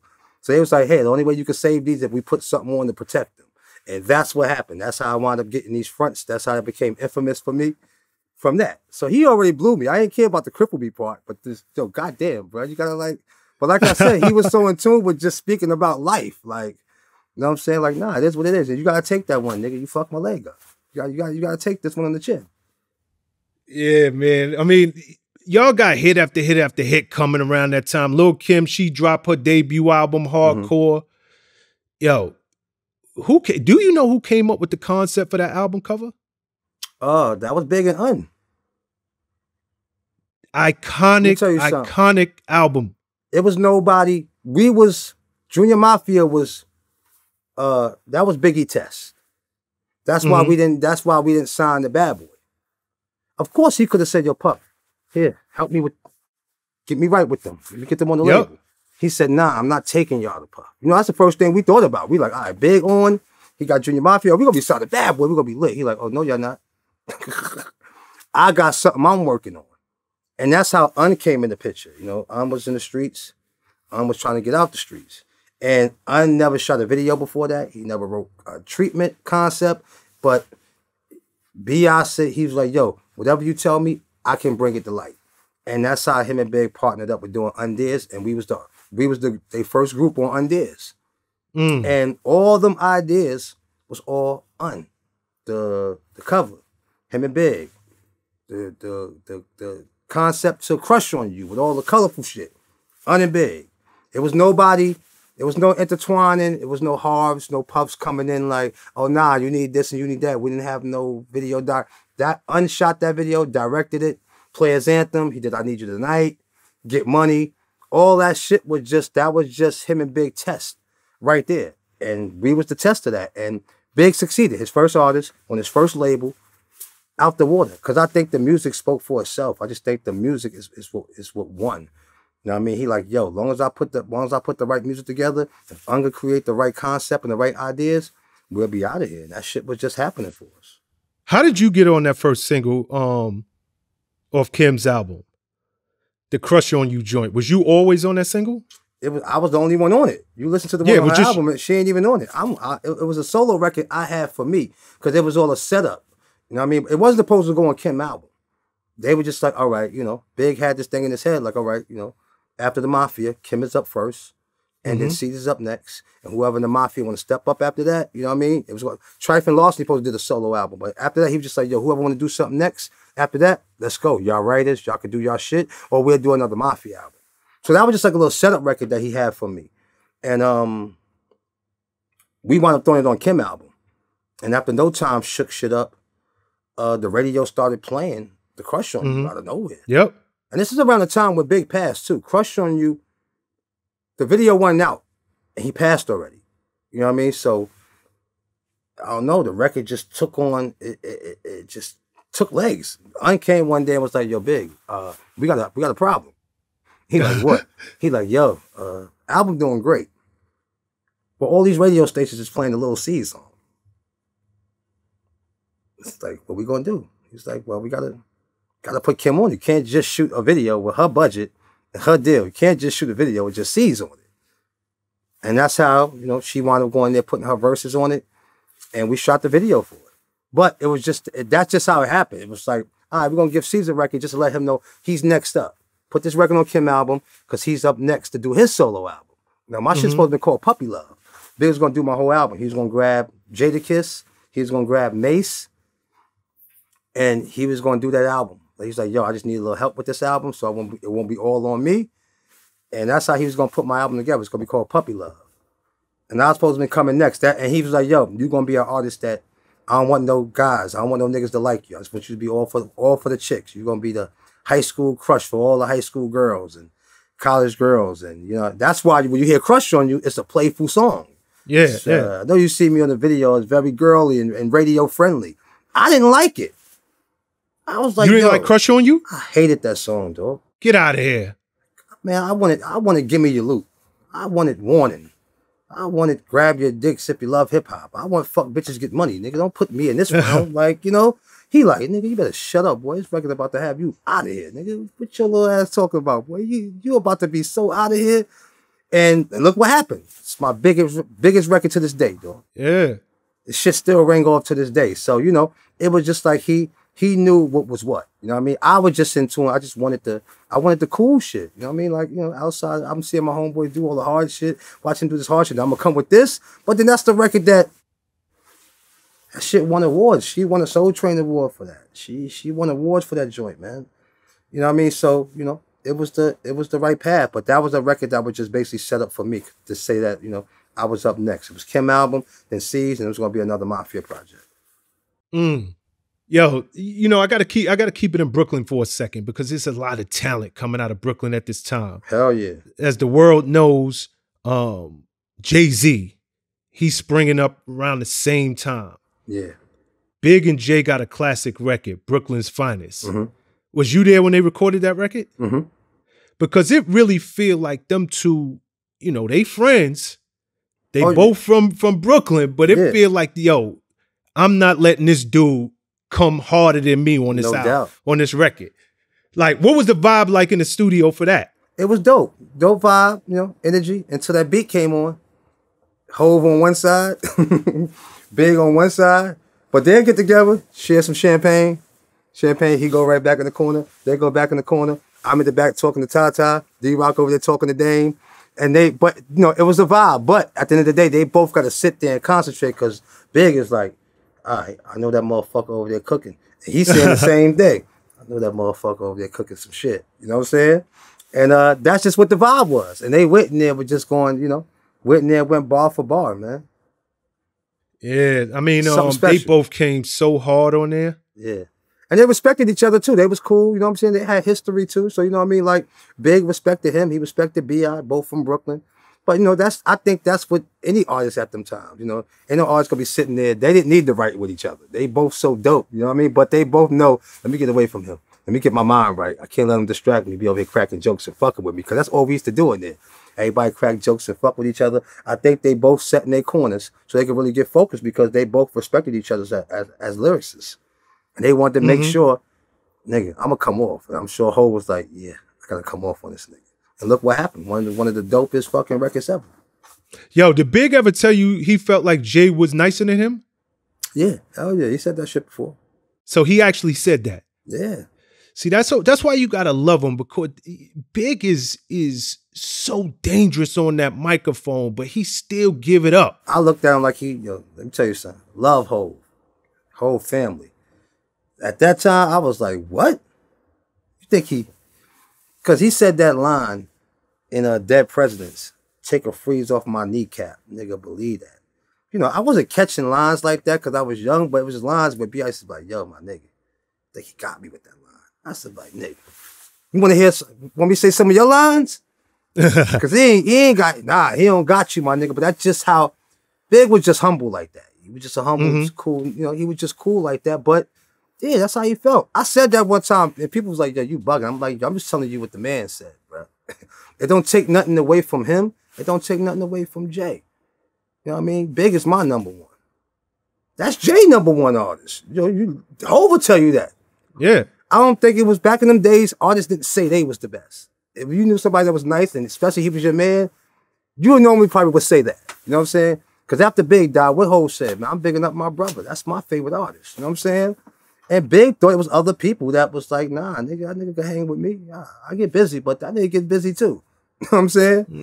Big was just he, he was just all about respect and shit like that. You know what I mean? Of course, he he he never felt like he, Big felt like he was number one, but it's times where he felt like, nah, he, he got me on that joint. That joint right there is fire. You know what I'm saying? And Hov would say the same thing. He'd hear some shit and be like, I gotta get away from you, my nigga. You know what I'm saying? like, nah, dog, you got you're about to make me go home, man, and, and, and fold my whole album up. You know what I'm saying? Because they was that's how much they respected each other, my nigga. You know, like they they was real buddies too, real friends.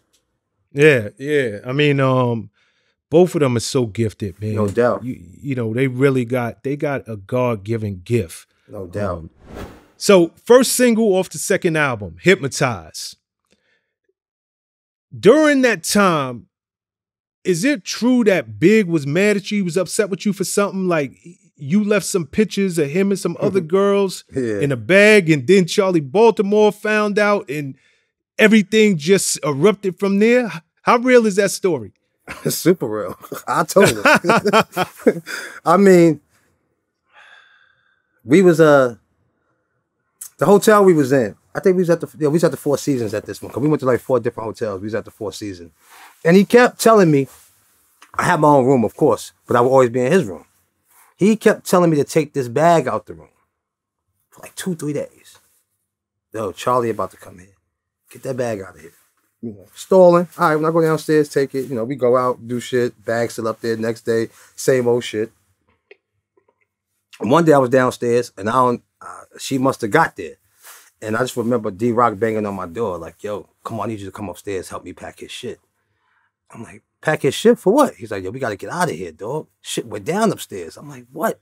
He's like, yo, Charlie went in that bag.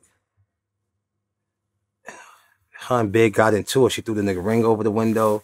She was throwing juices at him. I come in the room, it's wild fucking cranberry juice, all type of shit on the walls. Damn. Like, he like, yo, your man had to rush out. Of he, I had to get him up out of here, though. He, he out here, no shoes on, no nothing, shirtless. I'm like, oh, God. What the fuck did I do? I'm like, all right, his shit up. Go to the hotel with him now. He's sitting up there barefoot, no shirt on. like, look, nigga, didn't I tell you to take that bag out? I said, B.I., I know you told me that. I was like, yo, but why she in my bag? He like, that ain't got that ain't the point. She wouldn't have went in your bag if the bag wasn't in there. I told you for days to take that bag out of there, bro. He was like, yo, man, I'm sending you home. Fuck that. You gotta go home for a little while. He was like, yo, get it, man. Give me my weed too. Because of course I rolled all the weed. I got the bud. I'm like, uh. so I go downstairs. I got a room in there still, the new hotel. So Rock come with me. You know, he like, yo, don't worry about it, little bro. You know you just mad right now. He ain't gonna send you home.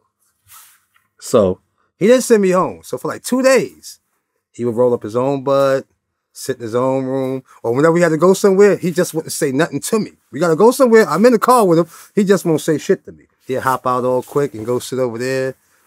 And um, that lasted for about yeah two or three days. Hypnotized video come up. Him and Puff do that whole car ride. Yep. You know, they're getting chased. That shit was for like two hours. So they went on a, you know, they taped that shit for like two hours straight. So we all just sat on set waiting for them to come back. When he came back, his shirt was wide open. He's walking with the cane. We like, oh shit. So he comes up to me, digs in his pocket. Love you, little nigga. Roll up. like, ah, finally, you not mad no more. But I, we always we always bugging because we like, yo, why this nigga came back from that trip so happy? So we all like, yo, puff, what you gave that nigga? You gave that nigga a pill or something? Why he, he come back shirt wide open? He walking on his joint. He he friends with it. Here, roll up, man. Roll up, little bro. I love you, man. You know what I mean? And then it was right back to we was right back to regular program from there. Yo, I but mean, that's I had a to learn my story. lesson from that, you know. But I was wrong because I was like, when Mhm. I went to the room, I'm like, yo, why is she in my bag? He said, the bag shouldn't have been there. You're right. Especially when you told me to take the bag out three days ago. That was totally my fault. He lost ten. He lost a, a, a ten thousand dollar ring that Faith bought him from that. She threw it over the balcony. So I had to go look for that shit too down there. Did you find it? Hell no, I didn't find that shit. Oh man. man. So I was just like that was like real hectic. And he liked it that four season hotel, so he wanted to have to leave out of that hotel too. So that's how we was leaving all these different hotels. Shit was just going down. We had to everybody. I guess everybody was thinking we was leaving these hotels because of we was in LA and people was trying to track us down. No, I wasn't that type of shit. We were just like leaving hotels because situations was happening. We was making. What was the vibe like being out there for you? It was cool, man. It was cool. It wasn't, it, you know, it wasn't as bad as what people think it was. You know what I'm saying? Like, you know, it was love. Like, you know, Big loved LA. A lot of people don't know that. I mean, I mean, they should know. He made a song about it. You know what I'm Mhm. saying? He breaking LA down like he was from there. You know what I mean? Like he loved just that environment, man. The clubs. He loved the palm trees. He loved the bud. He loved being there. Of course, we would have little situations here and there with somebody, not nothing crazy. You know, we'd be in the mall, somebody might yell West Side. We, you know, we walking down the strip somewhere, somebody might bypass and, you know, Tupac, yell some stuff, but it wasn't nothing where we felt like we had to be, you know, we was in danger or we had to be on point. And we was like going out too. Like, you know, we was going to Billboard Live. You know, we was going to Bar 85. We was going to the clubs out there.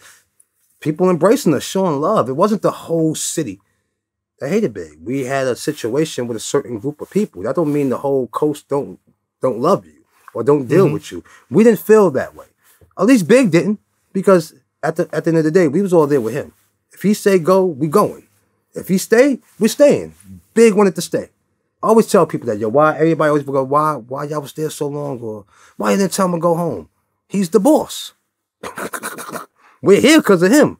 And if he feel like it's no threat and he wants to be here, it's our job to stand down with him. You know what I'm saying? And he want to stay, I'm staying. D-Roc is staying. You know what I mean? He, he wanted to be there. He he he loved LA. He loved the vibe. He he, he just loved, he loved it out there. He loved to work out there. Like he he really enjoyed it out there. He wasn't thinking about leaving. We was there for two months before he passed out there. We was Yeah, there a lot of people don't know that. Yeah, we was there for like damn near two months. So on the night that he passed, you're in the car with him. Everybody's at the vibe party in LA. Mhm. Um, you know, the party is jam packed. Everybody start to leave. Walk us through those final moments, just being in that car. Like, like what was the vibe like? And obviously it turned into tragedy, but just can you walk us through that period? I mean, it was regular. It, it, it was it was it was fast. Let me just say it that way. You know, you in the club, you having fun. They playing hypnotized like crazy. Love, love. You know what I'm saying? And you know when they said they clearing the club out, it's a fire hazard. Um, we just started to leave. Remember, Big was still, you know, he was still in the cane. So it's like, all right, everybody tap each other. Yo, we out. Come on, y'all. Everybody gather up. Walked out the building. Puff truck pulled up first. Him and his security, everybody got in his truck. When Big Joint pulled up, we got in the truck. And um when we got in, we just I remember D-Roc grabbing Big Head. Yo, you back, boy. Cause D-Roc was in the back. You back, cause that hypnotizer was ringing off in there. Who all was in the car? Um, me, Rock, and uh Big and uh our homeboy G that was driving us around out there. And we started dealing with him when we was out there. And um yeah, so when we pulled out the joint, and nothing either. Like we're not seeing nothing. It's nothing to make us like look and you know, it was just regular shit. We've been hanging out out here for months, you know, not thinking nothing of it. We get out, Puff pull out first. We pull out behind him. He blow past the light. We stopped at the light. When we stopped at the light, I see some chicks like on the on the curb.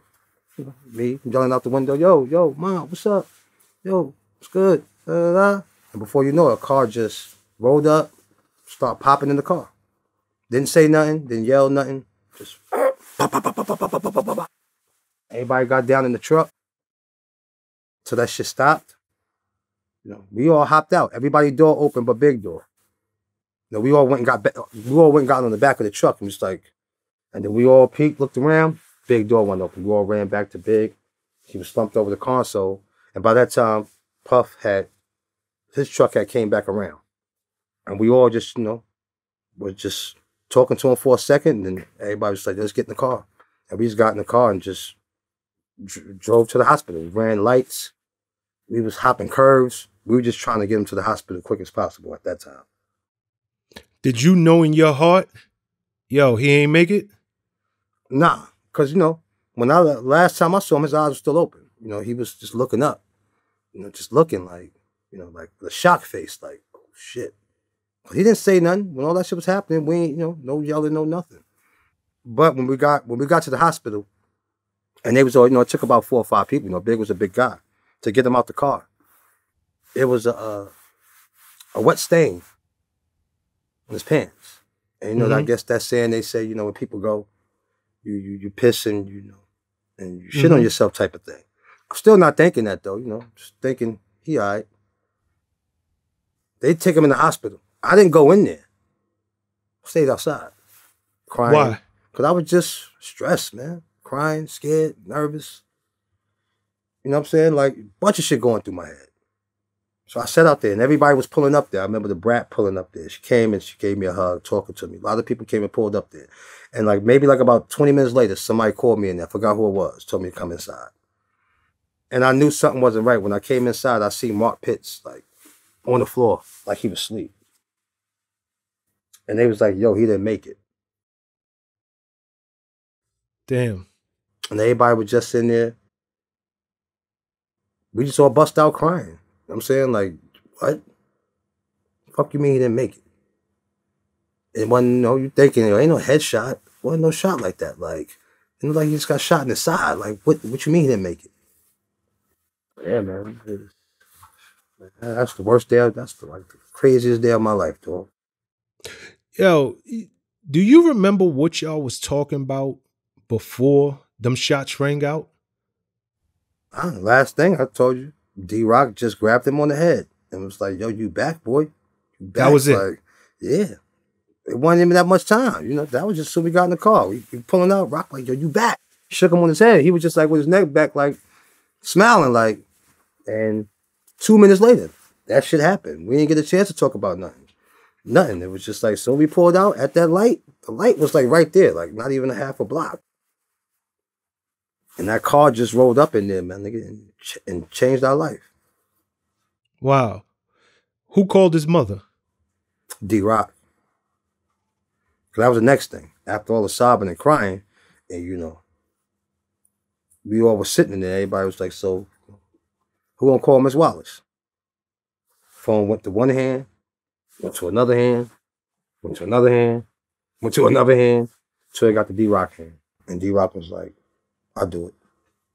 And he called her and told her. We picked up from the airport the next morning. Damn. It was the illest, man. And we brought her back to the hotel. And she walked in big room. You know, his stuff was still in there. He had wild wallabies in there.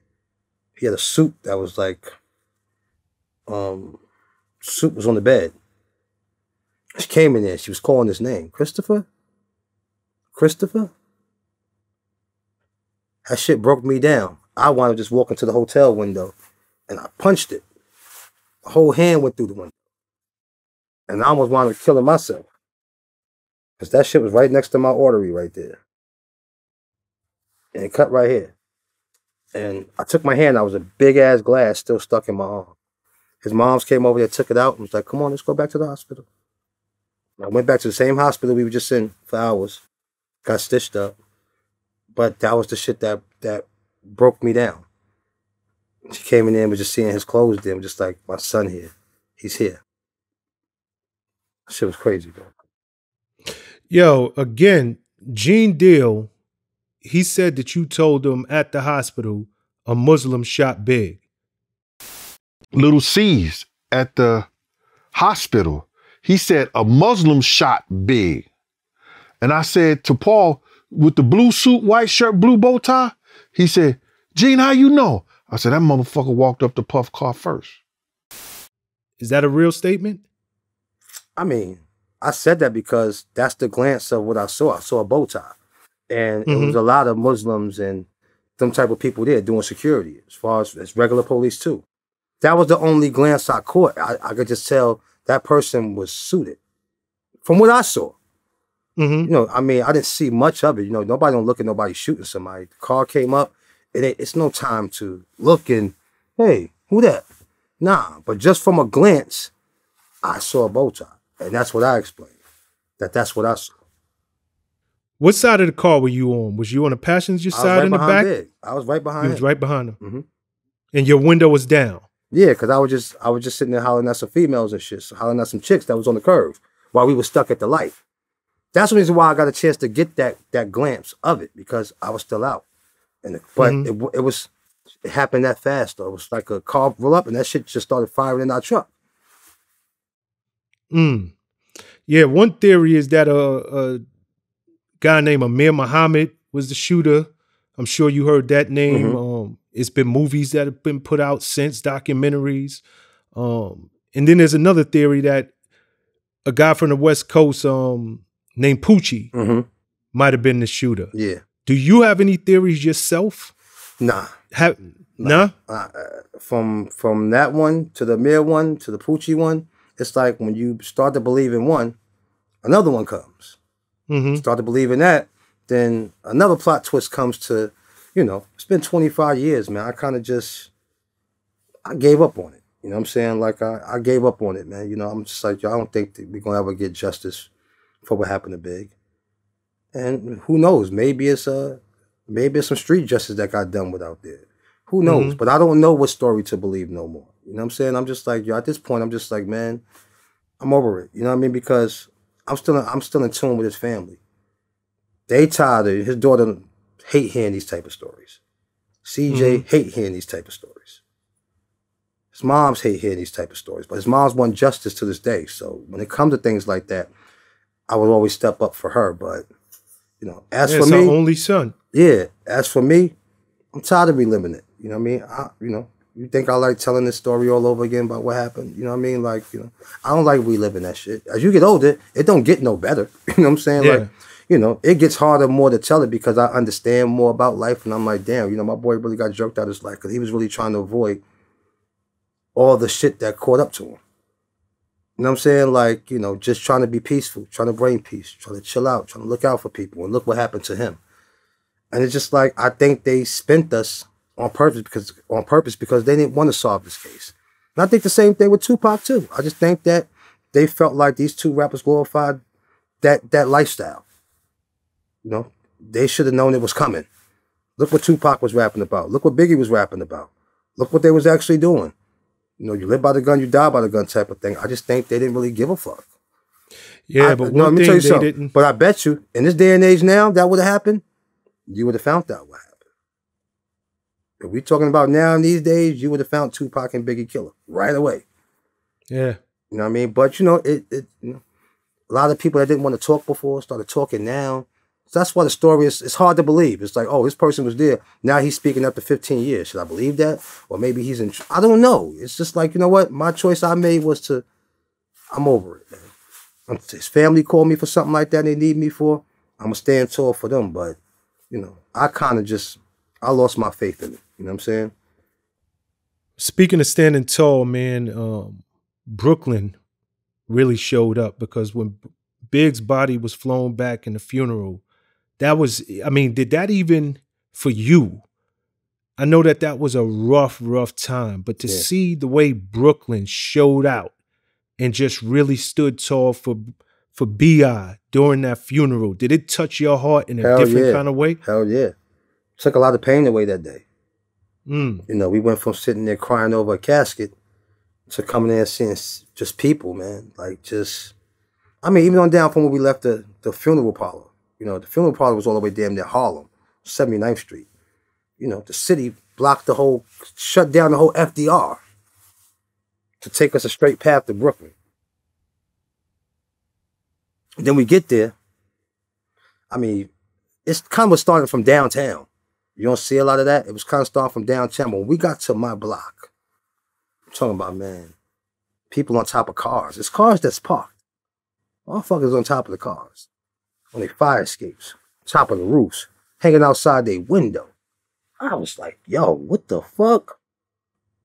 That just gave you a whole different kind of energy. You know, even for his moms. You know, she was like, yo, when I saw that, and then right before we got to the corner, somebody threw on that hypnotize song, my dude, and, and, and they lost it. But that's what he wanted. He said, I rely on Bed-Stuy to shut it down if I die. Mm-hmm. He spoke that shit. You know what I'm saying? And uh, yeah, that definitely gave us, you know, gave us some comfort, man. You know, to see like, damn, you know, they really love Bi like that. You know what I'm saying? Like, you know, you don't really feel that love and see that love when you're actually going through things and when you're actually living through it. Of course, you see it when you do shows and you go around, but I'm talking about that was a different kind of love. You know what I'm saying? Like to see them really like, you know, they let the kids out of school for a half a day. So they could come in there and pay their respects. And my little nephew and them, I, I watched some of the footage now, I'm like, oh shit, that's my little nephew. You know what Yeah, I'm saying? love. Like, you know, like people was actually out there, man. And just to see them people in tears and, and, and crying and risking their freedom to get locked up and, you know, like they they show their love for Bi. So, you know, that definitely was very comforting, like, you know, for the family, for us. We needed that. Yeah, man. Um, and it's crazy because a couple of years later, in 1999, you release your first solo debut album, "The Wonderful World of Caesar, Cease A Leo," and your boy's not here to see it. You know, he's not there to be part of it. Um, Jay Z showed up on that album on a song called "For My Niggas." hmm How did that song come together? I mean, you know, from the day B.I. passed, Hov was like, yo, listen, man, we family. Just because he ain't here don't mean nothing. You know, Hov was still like tight with us. You know what I mean? Like, nah, y'all my family. And I was like, y'all want to get you on this joint. And he's like, all right, let me know when you're ready. He came to daddy's house and recorded that joint with me. And when we did it, he he thought of the idea of the hook too. He's like, nah, you should do the hook like this. And Mm. I was like, bro, he loved the record so much though. He was like, yo, nah, this joint right here is sick, dog. Sick. Then this how it came about. He was like, yo, nah, man, you you little bruh. Whatever you need, I got you. like no brainer type of shit. You know what I'm saying? Like, I mean, all, all the artists came through like that for me. You know what I'm saying? Uh, Redman was on that album. Uh, Total was on that album. 112 was on that album. Mase was on that album. Busta Rhymes was on that album. Puff was on that album. G Dep was on that album. Shit, man, you know they. um, they Kim obviously Kim she was, on the album. Yeah. Kelly Price, you know what I'm saying? Like, you know, people really came. You know, people really came through for me. You know what I mean? And that's something I wanted to fulfill. You know, I, I didn't. He didn't get a chance to do the album he wanted to do for me, but he was Okay, so I got a question then. Why was Big not on it? Why wasn't no Biggie verses? Was this nothing left in the stash? Nothing that you just had set to the side?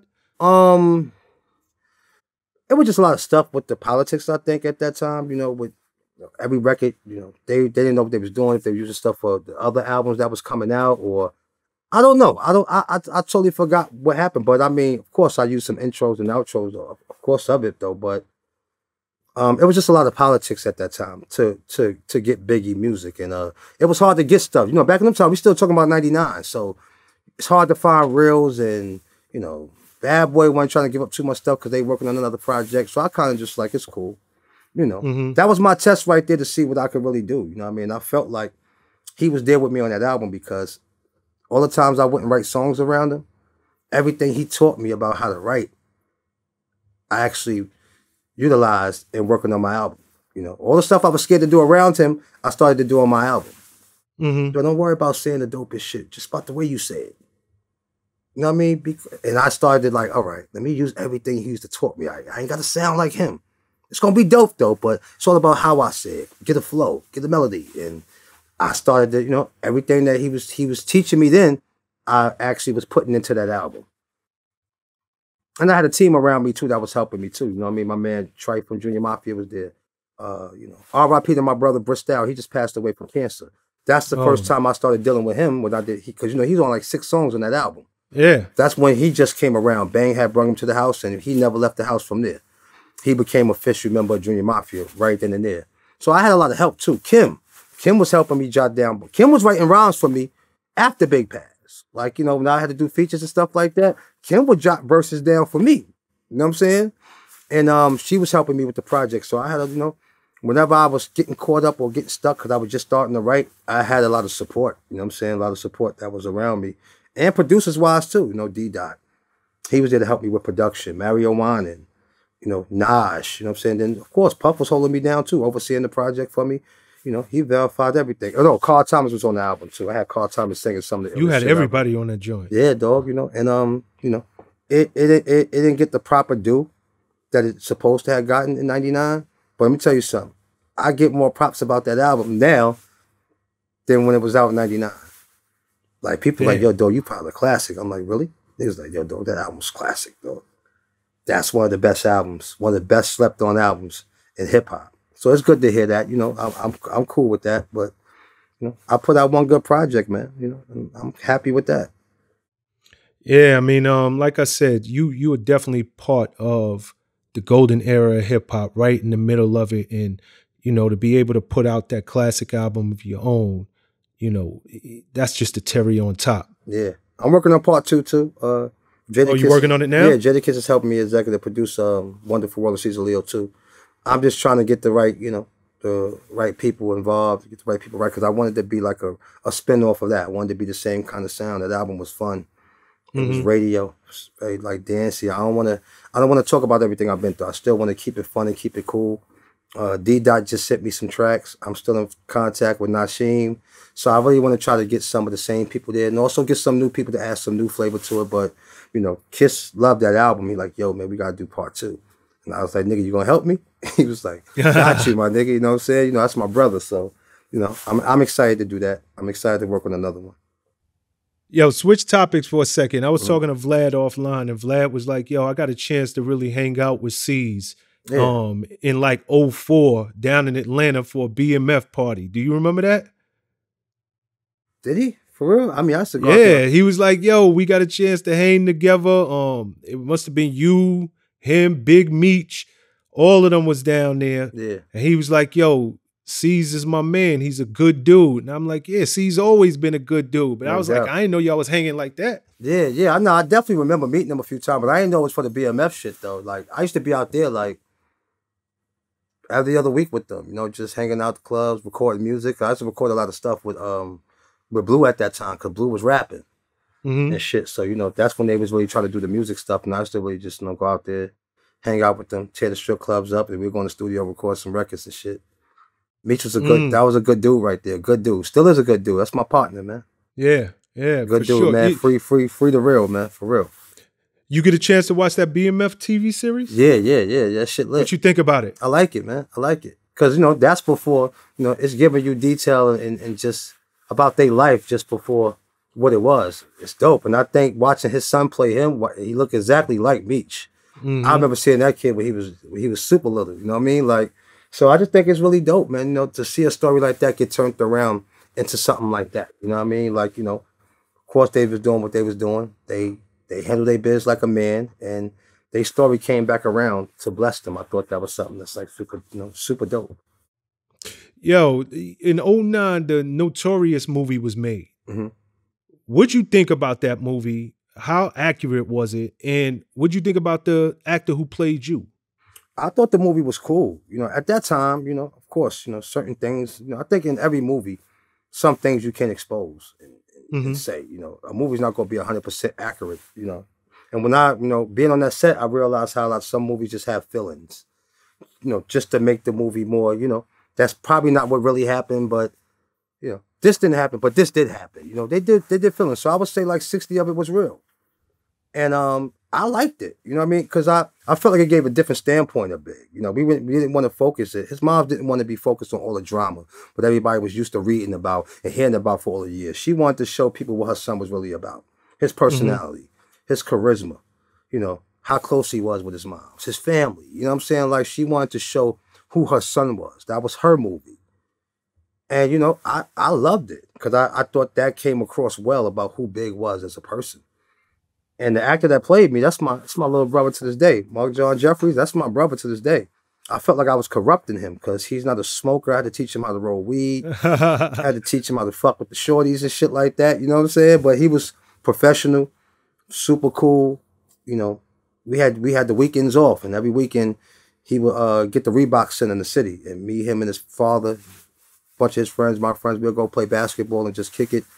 Super cool dude, super sharp, talented, and um, I was happy to actually have an actor that was a, a actor. You know what I'm saying? Everybody else that was in there was kind of like their first time around. You know, uh, Gravy, um, Yep. Antonique Smith, you know, the one that played Faith, Notori, like all of them was I think getting like their first or second go around. You know, little homie that played Marc that played me that had some movies, losing Isaiah. He was already doing some stuff, so I was like, you know what?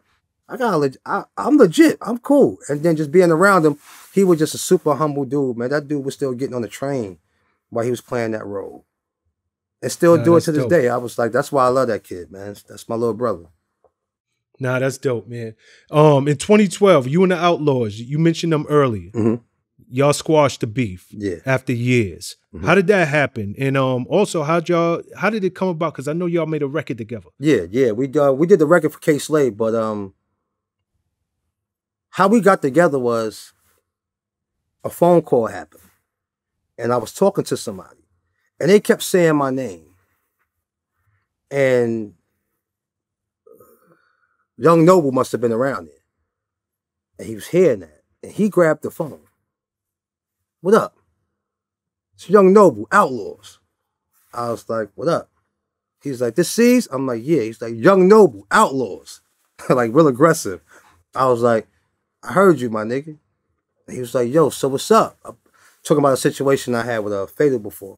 And um, it started off aggressive. And then we wind up talking. Before you know it, we talked for two hours on the phone, just, you know, airing shit out with each other. You know, 'cause that was the first time I literally got a chance to actually speak to one of them. And you know, of course, it started off rocky, but then before you know it, we was talking, you know, and our conversation ended with the yo, I'm gonna talk to my people, see what they think. And I was like, I'm gonna talk to my people, see what they think. I'll get on the phone with them. You know what I'm saying? And it's like, you know, what it's gonna be, bruh. You know what I'm saying? Like, we're gonna see each other, we're gonna shoot this out, or we're gonna, you know what I mean? We- So we we on the phone for a minute. Like it was, he was bark like we was barking on each other. Then, you know, I guess we just got on some grown man shit and start sifting through shit. You know what I'm saying? And we talked for a hot minute. You know what I mean? It was like, I, it, I, I, I, I felt the genuineness in his voice, and he heard it in mine. You know what I mean? So we wound up talking. I called the homies like, yo, I just got off the phone with Lil Cease. And ever since that day, me and him been talking, kicking it. You know what I mean? Like, you know, I was letting him know things that he didn't know about. He was letting me know things I didn't know about. He went back and his people was like, you know, to his other people, they was like, yo, we cool with it. My people was cool with it. And then maybe like about four years later, something, Slay called me and was like, yo, um, if I wanted you to do a song with the Outlawz, how would you feel about that? I was like, I'm cool with that. You know, actually, I've been talking to them. He was like, word? I was like, yeah, I've been talking to Young Noble and EDI. We've been talking about you the last five years. Though. We, we good money. He was like, yeah, because I want to do a joint, man, bridging y'all together. I said, you know what, Slay? If it's coming from you, I fucks with you. And if they with it, I'm with it. And they was down with it. And we did the song called Bury the Hatchet for one of Kay Slay albums. Mm. And they came to they came to the city. They came to New York, and we shot the video in the middle of Times Square. And you know, them, them my them my brothers to this day. You know what I'm saying? I gotta do a verse for uh they working on the project. I oh man, I put myself in the spot too. Cause I ain't do I gotta tell my man Young No, but I ain't do the verse yet. But I gotta get to it though, because they doing they working on another uh One Nation, I think, album. And um they sent me a joint to get on. But you know, hopefully we're gonna try to put this outlaw mafia, mafia outlaw project together, like a little six, seven song EP. I think uh I think the game need that. Cause to see how far we came, I think the new generation need to see that. Because the new generation, they be ready to kill each other just off an Yeah. Instagram tweet or Instagram post and stuff like that. It's like, if we can overcome this, y'all should be able to overcome y'all shit, man. We lost, we we we lost our head leaders to our crew. And we didn't like each other for a while because we was riders to our homeboys. But then once you start to realize you grow, you you age in life and you wake up in life and you start to get married and you have kids and you got a family, you start to think life is is, is more to life. Like, you know, me and young niggas like, yo, man, it's crazy how me and you cool. At one point, we didn't even know each other. and We didn't like each other. Mm. You know, like, yo, dog, yeah. I'm like, yo, you're a cool motherfucker. I don't know how I didn't like you. But we didn't know each other to, to, to like or dislike each other. It's just that my man don't like you, so I don't like you. And vice versa. All right, man, my man don't like you, I don't like you.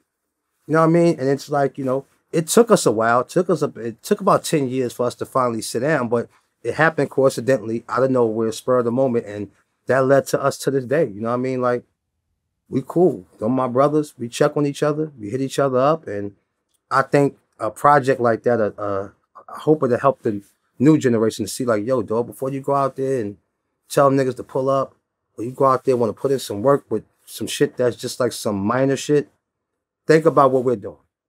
Think about what other people doing, man. It's it's the, you know, you making so much money and you got an opportunity to change people's lives, not just yours, but your family life, your friend's life. And you'll go out there and throw it away because somebody said someone said something to you about on a record about you. Like, come on, man. Like, nah, we can get over the shit we've been through. This younger generation should be able to get over the shit that they're going through. You know what I mean? Like they're dying left and right right now. Yeah, you know man. I mean? Like it's different though. yeah. And I hope it'll help. So I, I definitely, you know, that's something I definitely want to do. Well, speaking of burying the hatchet, you had a chance to bury the hatchet with your sister, Yeah. not your blood sister, but That's your just like sister my blood this game. sister though. Yeah, No doubt. you and Lil Kim. Um, I thought it was it was real big of you. Um, you know, at, at, at this party for Big's 47th, I think. Um, Yeah. you yep. grabbed the mic. Yeah, It was a yeah, yeah. I remember that Because we, night. we, we ain't do it for two years. And he'll be 50 uh, this year coming. hmm Yeah, and you um, you know, you buried the hatchet. You did it publicly, and you know just how did it feel to finally put that behind you because y'all, y'all is like you said, it might not be your blood sister, but that's your sister. I knew her before I knew Big. Uh, You know what I'm saying? I knew Kim before I knew Big. That's why the situation was so. That's why it lasted so long because it was so personal. Mm-hmm. it's not about nothing with court shit, with none of that shit. We're not going to even address that, but it's nothing to do with that. My apology was I, you know, I wasn't a good brother to her. I made some wrong moves, some bad mistakes, and that was just the perfect time to do that. You know, I didn't plan that. We was all having a great time, and you know, and I just know the comfort she needed because I know her, and I wanted to do that. I wanted to let her know that. You know, I wanted to let all the people around know that. You know what I'm saying? And I just felt like that's what I wanted to do, and she deserved that. You know what I mean? Because a lot of times, you know, when Big died, she held me down, and I wasn't acknowledging that the way I was supposed to.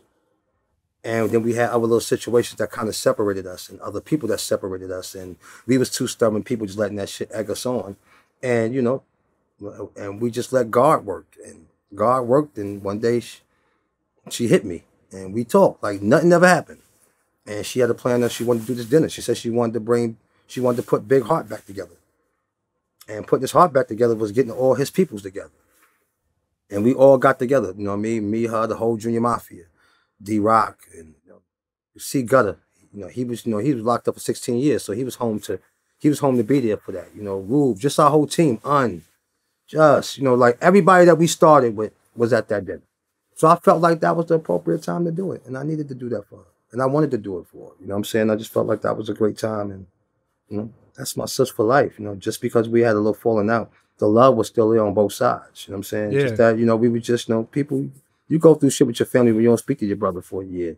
You know, I ain't speaking to my brother for four years, you know what I'm saying? But the blood, that love, is still there. And um, you know, I, I'm glad that happened, man. You know, that's my sis and I love her to death. You know what I'm saying? And we we back like we never left. Nah, so am I. I mean, um, it's clear that there's a lot of love in that crew, and especially between y'all two. So No I'm doubt. glad. Um, before I let you out of here, got two last questions for Mhm. you. Number one, what's your greatest memory of Big? And number two, I mean, it's 25 years since Big passed. Mhm. Why do you feel like even to this day, Big is still so loved? All right, well the first question is my my, my favorite memory of Big, you said? Yeah. Um, I never really shared this one before, but uh, one time we was in Jersey, and uh, at the crib, and I was in his room and shit. And he was on the phone, talking to somebody, laid down in his bed, and I was in the crib doing something. I forgot what I was doing. I don't know if I was in there dancing. I don't know if I was in there saying some dumb shit or something. And he was whoever he was talking to. He was like, "Yo, this little nigga just got this little nigga cracking me up right now. He just got me feeling like I got a little brother right now." And uh, you know, as a kid, then that that that touched me, you know, because everybody used to fight for the attention from him or wanted to be there. You know, this when he just got his crib in Jersey. I have a room in there. I'm good money. You know what I mean? Like the way he just treated me, it, wasn't like I was a little nigga. It's like I was a I was a little nigga when I needed to be. When shit going down, I'm gonna hold my little little brother by his shirt. But then when it's time to get grown, I could grab the champagne, pop the champagne too, grab the mic and jump on that stage. You know what I mean? I'm grown enough too. I can grab the magnums and I'll go upstairs and I got four, five, 21 year olds up there lit. You know what I mean? Like, but that was the first time that where he he was just letting me know how he embraced me. Like, you know, this is this is my son sometimes, it's my little brother sometimes, it's my homeboy sometimes, you know what I'm saying? Or it's my nephew sometimes. Like, you know, he was just like that one moment right there was where I was just like, all right. You know, that made me feel good. It, it- he, you know, it probably ain't meant nothing to him thinking about it at that time. He was just on the phone rambling with somebody. Was like, Yo, this little dude just got me feeling like I got, like I got a little brother right now. That's just getting on my nerves because I was in there doing something crazy. But I never forget that, and that just made me, you know, it made me feel appreciated. It made me feel loved. Like, all right, he really, you know, he really fuck with me. You know what I'm saying? And uh, you know, why I think he's still here for 25 years? Because ain't nobody do it like that in 25 years. You know, I love a Drake. I love J. Cole. I love all. I, I love a lot of new artists, but it's nothing like Bi. It's nothing like that. He's still saying lines. He still got lines you still catching today. Trying to push 700s. They ain't made them yet. They ain't make a 700 yet. you know what I'm saying? Like, no, the man is like, it's rhymes that still sound like today. That could go up against any rapper bars today. That's just different kind of music. It's different kind of energy. And I think the blessing of him with the footage, you know, D-Roc having his footage, I think that also helped too. You see these documentaries, you get to just see him personality wise. And you get to hear him talk and you get to hear his mind state and what he was thinking about, how he was doing shit. I think that just add on to it, the way it's like, yo, because you get to see the transition, not just hear it, you get to see it. You know, you watch a documentary, you see him go from the fatigues with the BDK, Big Daddy Kane, scarf and the thing to the Coogi, the Kangol, the Pinky. You know what I mean? Like you actually watch his life change and you watch what he did for us. You watch what he did for Un. Boy was 24 years old and got married.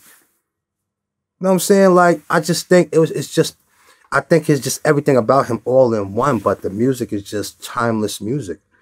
You know, if you could turn this music on after 25 years, that's crazy. Like you turn on Hypnotize, it still rocks the same way 25 years ago.